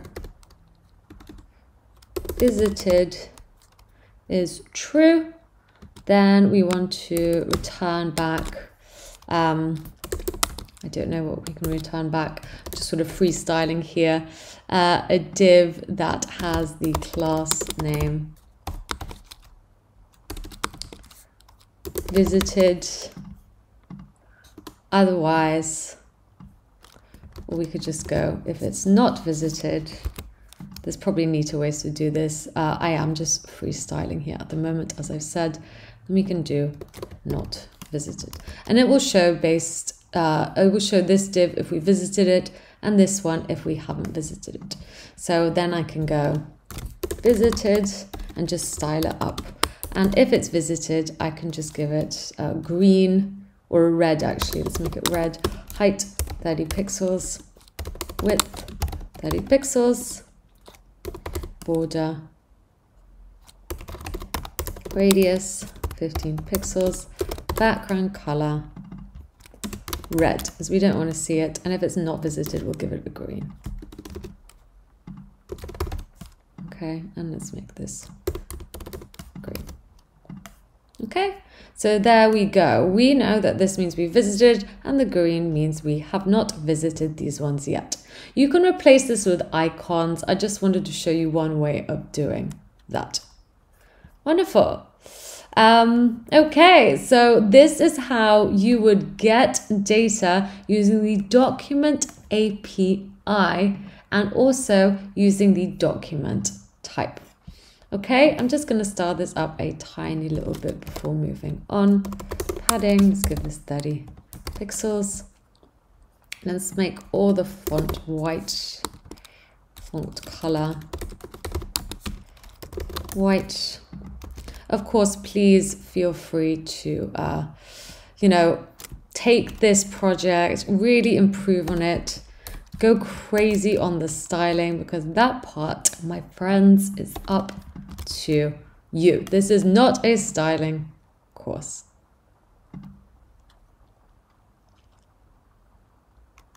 Uh, whoops, cannot. Okay, so we just have to. What is happening here? Just going to comment that out for now. Okay, so it's not picking stuff up in here. This is because sometimes the burger data might not come back fast enough. So I'm just going to put uh, that right here. Okay, good. Okay, so it might not read it first time. So the first time this renders, the burger data might not exist, which is why we put this question mark here. And when it re-renders, then it will show these cards. Okay, great. So this is looking a lot better.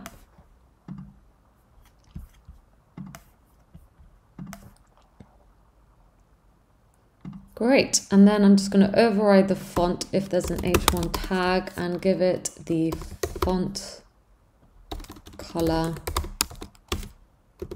black. Cool. And let's just go back here, put that back.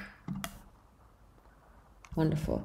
And one last thing I'm to do, and that is center everything. So on the body itself, I'm going to do display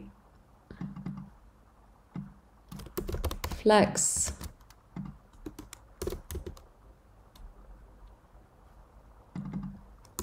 justify content center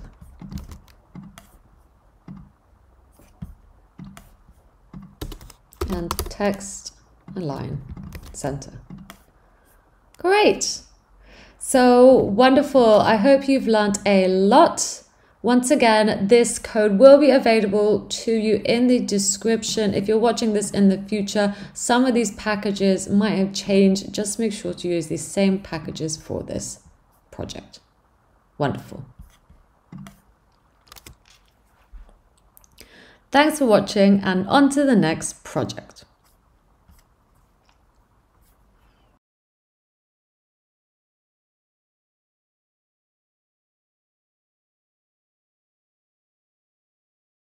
In this project, we're going to learn how to use the GraphQL API in order to build out a hotel app. Okay, so once again, I'm going to start completely from scratch in order to build out our React app.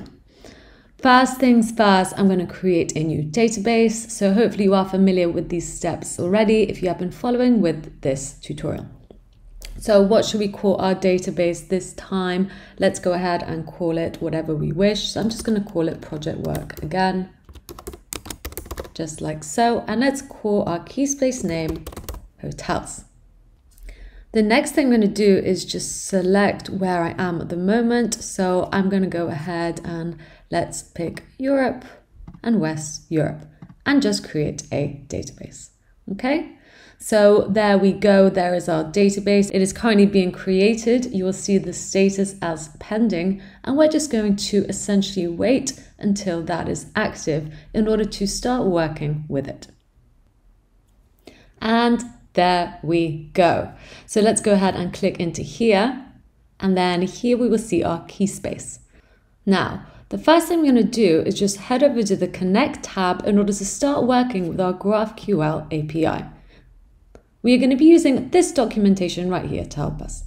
So the first thing that we need to do is just create a new application token. So I'm just going to click here to do that. And once again, I'm going to select the role I want. I'm going to choose admin. However, there are many others with different readability levels. And I'm just going to create a token. Once again, I'm just going to copy this right here and keep it somewhere safe. Now, once we have done that, I'm just going to close that down and I'm going to launch the GraphQL playground by clicking right here. So there we have it, there is our playground. And in order to communicate with our playground, we need to just put the token we have just created in the HTTP headers, just like so. So now we can communicate with our database. Let's go ahead and create our first table. So I can use the docs to help me with this. So this is the mutation I'm going to be using. Once again, if you watch the tutorials, you will know that we have queries and mutations to our disposal. Queries will essentially find data for us and mutations can create, delete and update data for us. So we need to create a table. So I'm just going to get rid of this. And this is a mutation. And the mutation that I want is create table. Now, if we look under here, you will see that to create a table, I need, so the bang indicates that this is necessary. I need a key space name. So let's go ahead and pass that through. A key space name, I'm going to put this on a new line. And the key space name has to be a string. So I know that my key space name is called hotels okay, because that is the key space that we named it right here. So if I go back to my databases, hotels is the key space name. And then the table name, this is something that I'm going to assign right here. I'm just going to call it hotel data. So I have just chosen to assign this to the table name right now. The other necessary thing that we need is the partition keys as an array. So let's go ahead and add that partition keys as an array. And I want my partition key, so if we just click on here, I need to give it a name and a type. So I'm going to go ahead and do that. I need to give it a name, which is a string. So I'm going to choose to sort all my hotels by AID. And then I also need the type. And the type I want this to be is actually going to be basic text. As I don't want this to be an integer, I want the ID to take letters and numbers. Okay, so that is one column that we have made so far, the partition keys. If I want to add more columns, however, I could do so thanks to values. So once again, values is an array. So I'm just going to write values and if this is one column, this is actually the column we are going to filter by and search by. And all these additional ones are going to come back if we search for this column. So let's add another column. Again, we need to have a name for this, which is going to be the hotel name. And the type for this, I know that I want this to be text. And if we want to add more columns, so at the moment we have one column, a second column, and I'm going to have three columns in here. So this is actually going to have the rating. So I'm going to call this rating and I'm going to give this an integer value. Okay, so there we go. So now if we run this mutation, great, we have created our table. Wonderful. So now that we have created our table, let's get to adding data into our table. So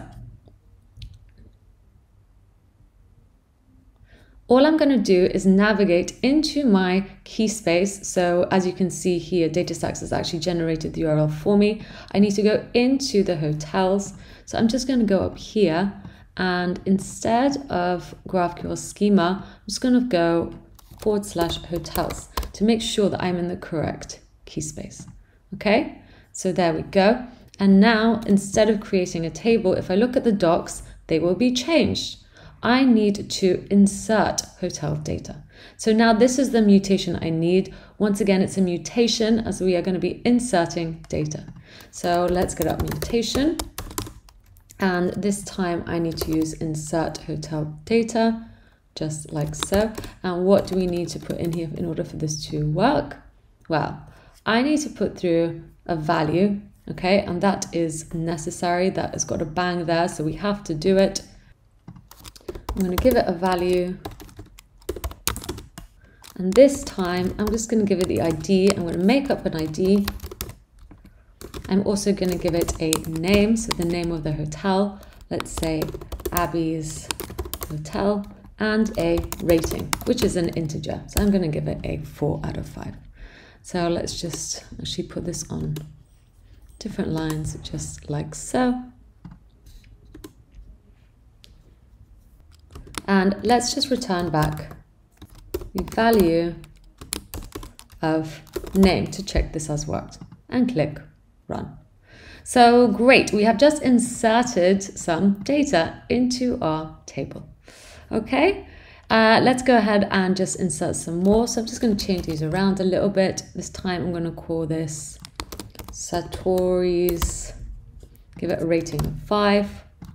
There we go, that has worked. Let's give make another ID up. This time it's going to go Motel Maze, give it a rating of three. And then one more and this one is going to be awesome hotel and give it a rating of five. Great. So now we know we have just added four hotels into our database, but how can we actually see this? Well, for this, we need a query. So to query this, I would simply, I can go here and have a look if I need. The queries I need is hotel data. So I'm just going to write hotel data like so. And because we are not filtering out by anything, I can just get the values and then choose whichever values I want to come back. So I can get all of them. I can get the ID, the name, and the rating, and just click that. Or I can just get the name and ID. So that would return back. Or I could just get the name, whatever you wish. So however you write that query is what will return back to you. I want everything, so I'm just going to do that. And there we go.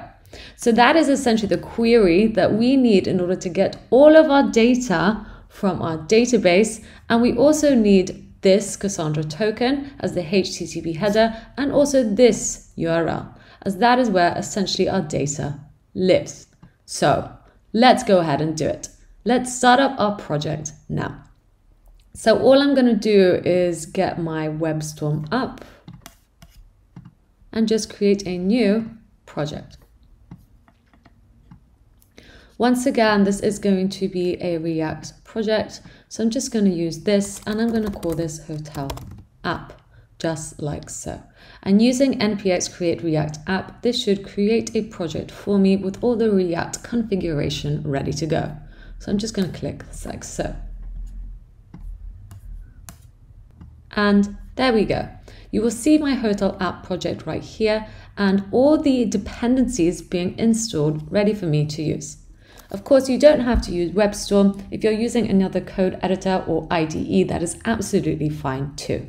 Just make sure you get up to this point where your project is installing all the dependencies ready to go. And great, we are ready to go. So the first thing that I'm going to do is actually just delete anything we don't need. So here are all the files that have been generated, as well as the package and all of its dependencies and scripts. So in here, I'm actually just going to get rid of the logo as we are not going to need this anymore. So just delete that. Delete anyway. I'm going to delete the report web vitals and set up tests. So once again, just delete that as we don't need it anyway. And then I'm going to delete the app CSS file as I want all my styling to be in the index CSS file and just delete the app test.js. So just delete that like so. Okay, so this is looking good. Just going to minimize that and delete this as we don't have any more. I'm going to delete the semicolons as I'm not a fan of semicolons. There we go and save that. And then in the app.js file, I'm going to delete all of this as we don't need it anymore. And once again, get rid of these semicolons and we don't need the logo as we don't have it. We don't have this file either. Okay, so this is looking good. Now, if we run this, I'm just going to click this to run the start script. You should see the project show up here. We've got rid of all the styling, so you should just see a blank slate like so. And let's get up our console log. Wonderful. So now that we have that, let's get to making some requests. So I'm just going to minimize that for now. In the previous project, we built a little mini backend using Express However, this time I'm just going to show you a different approach and that is using Netlify serverless functions. So to do this, let's get up our terminal and let's install uh, the Netlify command line interface so we can use it. So npm install netlify CLI and I'm going to install it globally. Okay, so that is what the G is for. That is to install that globally and just let that run. Okay, so I'm going to leave that to do its thing. The next thing we're going to do is actually create our first serverless function. Okay, so when that is done, I'm just going to ask you to create a file in the root of your project. So make sure it's in the root of your project on the same level as the package JSON. I'm just going to minimize that. New and the file is called netlify toml. Okay, and in here I'm just going to give you some code to put in in order to build out these serverless functions. So this you can just copy. These are some commands that we're going to have to put in here in order to build them out. Functions here is essentially the uh, whatever you call the directory you want to store your functions in. So let's go ahead and create that. I'm going to create that on the same level. So just make sure that's in the root of your project and call the directory functions, just like you did here, okay? So that is where we're gonna store our functions, our serverless functions, and then we just need one more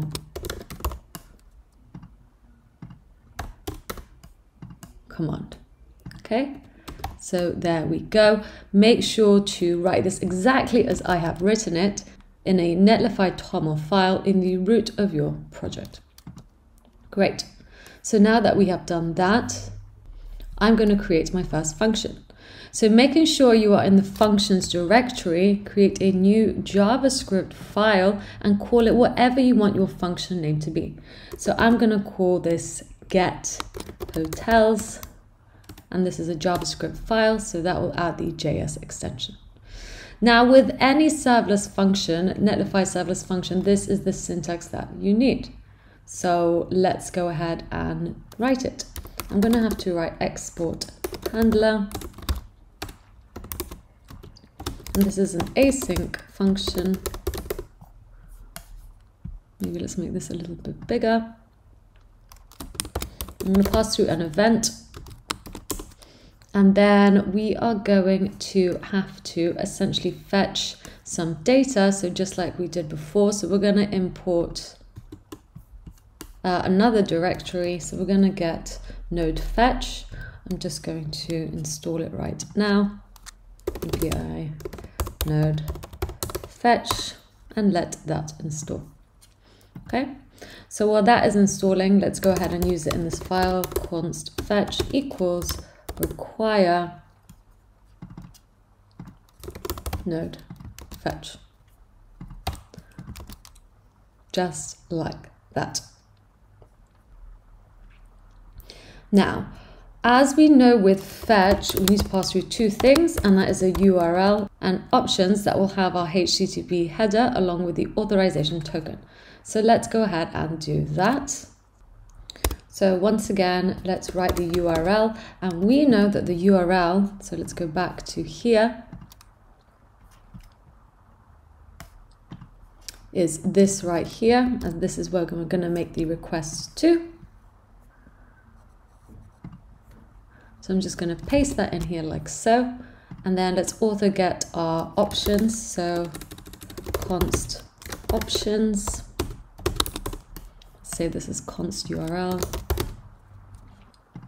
And the options are going to have a method, which is a get request and the headers, okay? The headers, which will consist of the content type oops, content type and the X Cassandra token. Okay, so there we go. I'm just going to make this the same as we see here, X Cassandra token, and I'm just going to grab that. So the whole thing and just put it in here, just like so. Just gonna make it single quotes. Great. So we have our options and then we also have our URL. Just gonna format this a little bit better. So URL options and we're gonna use fetch. However, this time we're actually gonna save uh, whatever comes back from fetch so we know this comes back with a promise, const response. So whatever that returns back, we're going to save as response this time. And this is not all we actually need to do. And because this time we actually have a query to pass through, okay? So we do have a query to pass through and that query is, I'm just gonna save it up here. So I'm gonna save it as const query and I'm just going to use backticks for this and I'm going to paste in my query. So let's go in here. This is essentially the query I want to make. So I'm just going to paste that in here like so and maybe format it a little bit better.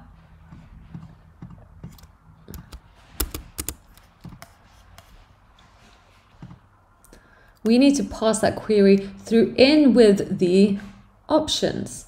Okay, so this is no longer a get request as we are posting. We are sending this query, so make sure to change this to a post method. And let's get to passing through the query into the body. So I'm going to pass through the query, but I need to pass it through JSON stringify and then just pass through the query like so. Okay, Great. So that is looking good. We are now passing through the query in with our options, so along with the Cassandra token, the method, and then we are putting that into the fetch that we imported from node fetch. Great. Now we're going to use try and catch in order to do this. So this is the syntax for try and catch. We've got try, and we're going to catch any errors. So E for errors. Okay. And to try do this, we actually have to make sure this is all in the export handler. So let's just grab that and make sure that it is here. We are going to well, essentially we're getting the response. I'm going to call this response body. So we could use this, but we also need the JSON from it. And this returns a promise. So I'm going to have to use await in front of it, just like so. Okay, and then if that comes back, then we're just going to return a status code of 200 because that has worked. And then we are going to show in the browser the response. So I'm going to use JSON stringify for this to work. I'm going to show the response body in the browser. And if it doesn't work, well, we catch the errors and we're just going to console log the errors.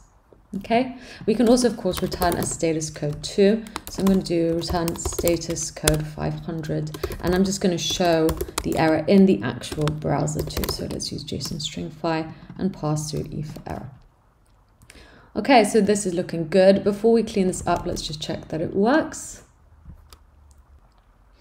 So to do this, I'm just going to go in here and I need to run the command netlify netlify dev and let it do its magic. Okay. So there we go, localhost 888. Let's inspect the page. And now if, if we want to get that data, if we want to run this function, essentially, I need to go into functions and get hotels. Okay? Oops, make sure this is an S. So I'm going to go forward slash dot netlify forward slash functions as that is the directory that we created and then get hotels. And Wonderful. So now we are getting all of our data and wonderful. So it is saying something's already running on port 3000. I thought I did shut this down, but I didn't cancel. Okay, so we need to stop that running. Just make sure that's stopped. Okay.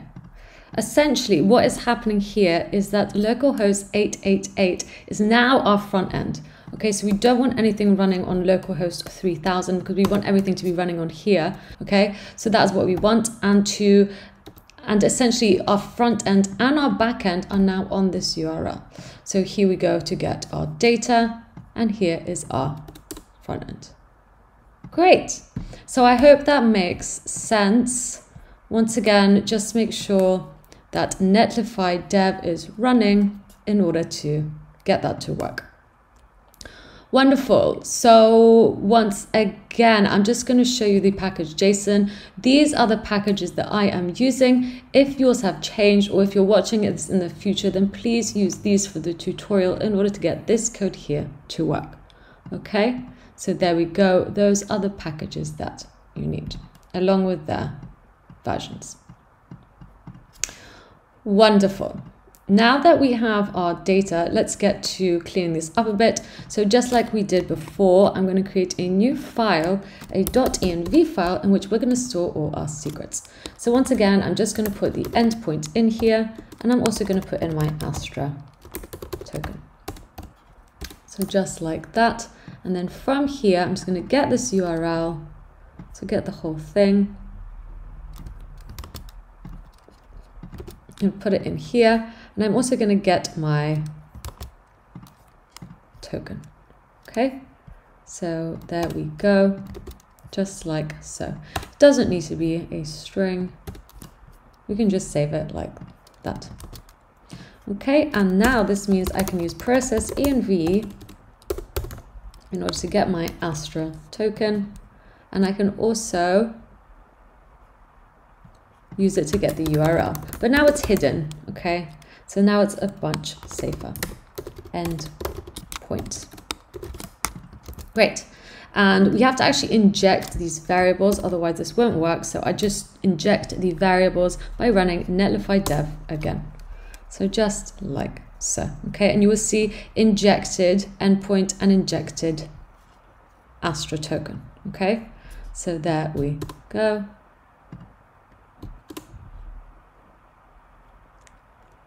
Let's try that again, only absolute URLs.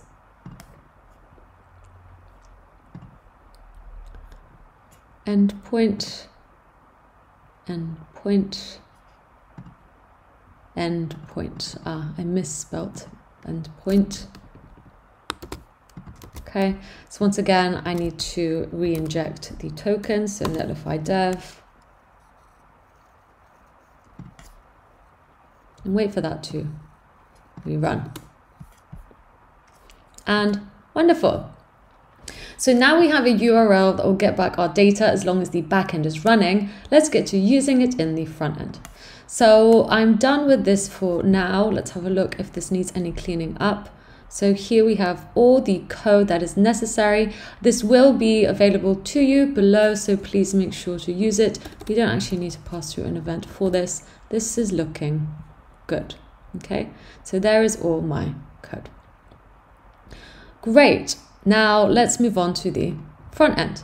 So here is my front end. Uh, as you can see here, once again, I'm going to have to essentially fetch the data. So I'm just going to do fetch data, just like we did before. I'm going to make this an async function. Okay, let's change this to a function expression just because I prefer working in this way. And now let's actually fetch the data.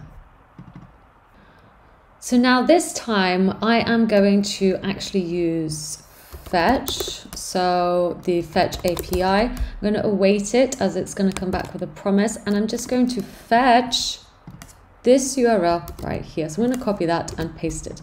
However, we don't need all of this. I can simply put forward slash netlify functions get hotel. So that is essentially the same thing. Okay, so we're getting the data from there and then let's go ahead and save it as something. So I'm going to save it as just the response for now, const response. Great.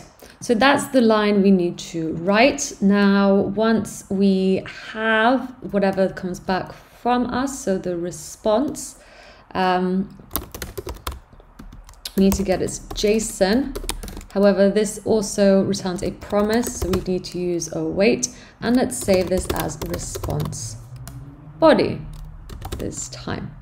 And we're gonna have to actually save this into state. So I'm just gonna import use state and also use effect as we're gonna need it later from React. Okay, awesome. So we've got the response body. Let's actually save it to the state of the app. So let's use, what should we have? Hotels, set hotels, and then use state. I'm going to start off with the state being null. Okay, so all this means is that at the moment hotels is null and I can use set hotels to make hotels whatever I wish. But at the moment, we're starting out with hotels being null. So this gets passed on to that, and I can use this to also change that. So I'm going to use set hotels to change hotels to the response body. Wonderful. I think let's check out if this has worked. So I'm going to now use use effect and then a callback function. If you don't know about use effect, I would suggest uh, doing some research on these hooks at the moment. So use effect, just like so. I'm going to fetch the data. Okay, and then I'm just going to put up like an empty array so it doesn't keep fetching that data over and over again. So I'm going to call that and now let's console log hotels to see if this has worked and to see what's being returned back to us.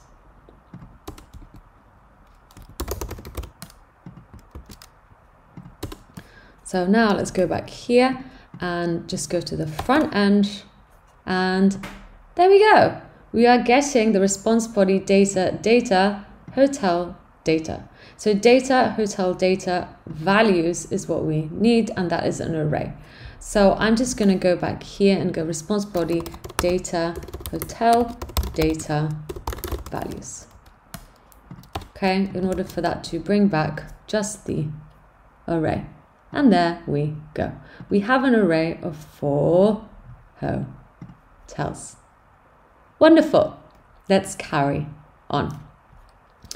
So now that we have that and we have checked that that has worked, there's the whole code in its entirety, please feel free to stop here and make a note of it or just catch up. Press pause and if you're caught up, let's carry on. So just like we did before, I'm actually just going to map out all the hotels. I'm not going to create a card component this time as you know how to do that. So I'm just going to grab the hotels if they exist and I'm going to map, so dot map, and for each hotel, well, I want to return a div. Let's give it the class name of hotel and then in here, let's put an H1 tag that has the hotel name, a P tag that has the hotel, what were the other ones? Hotel name, then we have a hotel rating. So let's see how that looks. And there we go. We get all four of our hotels with a little rating too. Now let's get to styling this up a little bit. So here is my app. I'm just going to get my CSS file. Let's put everything in the body as justify content. Center, of course we need to use display flex to initialize this. And align text, text align apologies, text, align, center. Okay, so that is looking good. And anything with a class of hotel, I'm going to make sure that the background color is salmon and border radius is 50%. Okay, so maybe that's a bit too much border radius. We can of course change it. Let's maybe make it just 10%. Hmm. Or whatever really that you wish. It is up to you. Great. So of course, uh, please again feel free to go wild on the styling. I don't want to go too crazy on the styling. This is not what this is about. This is a tutorial to show you how to get data into a project. Okay, so I'm just going to put my hotels here and maybe let's make this in each two tag like so. Great. And maybe let's give it some padding. Uh, from the top, let's give it 10 pixels, and from each side, I'm going to go 50 pixels. Just make it look really long. Okay, and then also margin 5 pixels. Great. Okay, so hopefully you've learned a lot in how to get data, this time using GraphQL and the GraphQL API. If you want to learn more about how to make more advanced requests, so in making the functions, including stuff like pagination, I do suggest watching my Netflix clone in which we use GraphQL to do this. Okay, so that is an option for you. Please try, go ahead and watch that if you wish. It is reviewed by an actual Netflix engineer too. Once again, the code for this project will be available in the description below. And that's it. So to recap, during this video course, we have learned what is NoSQL, SQL versus NoSQL and why you can't compare them, types of NoSQL databases, so document databases, key value databases, wide column stores or tabular databases, graph databases, and talked about the multi-model databases. We also talked about how to get data into projects with two real life examples and also had a look at the document API and GraphQL API as we did this. So an action-packed course really, and if you're looking for ideas on where to go next to really solidify your knowledge, I would recommend using the Document API and SDK to build your own TikTok app with me here, or using the GraphQL API to build a Netflix clone here. Or even learn how to federate data from two database types with my GraphQL Federation crypto app right here. Thanks so much for watching and I will see you again soon.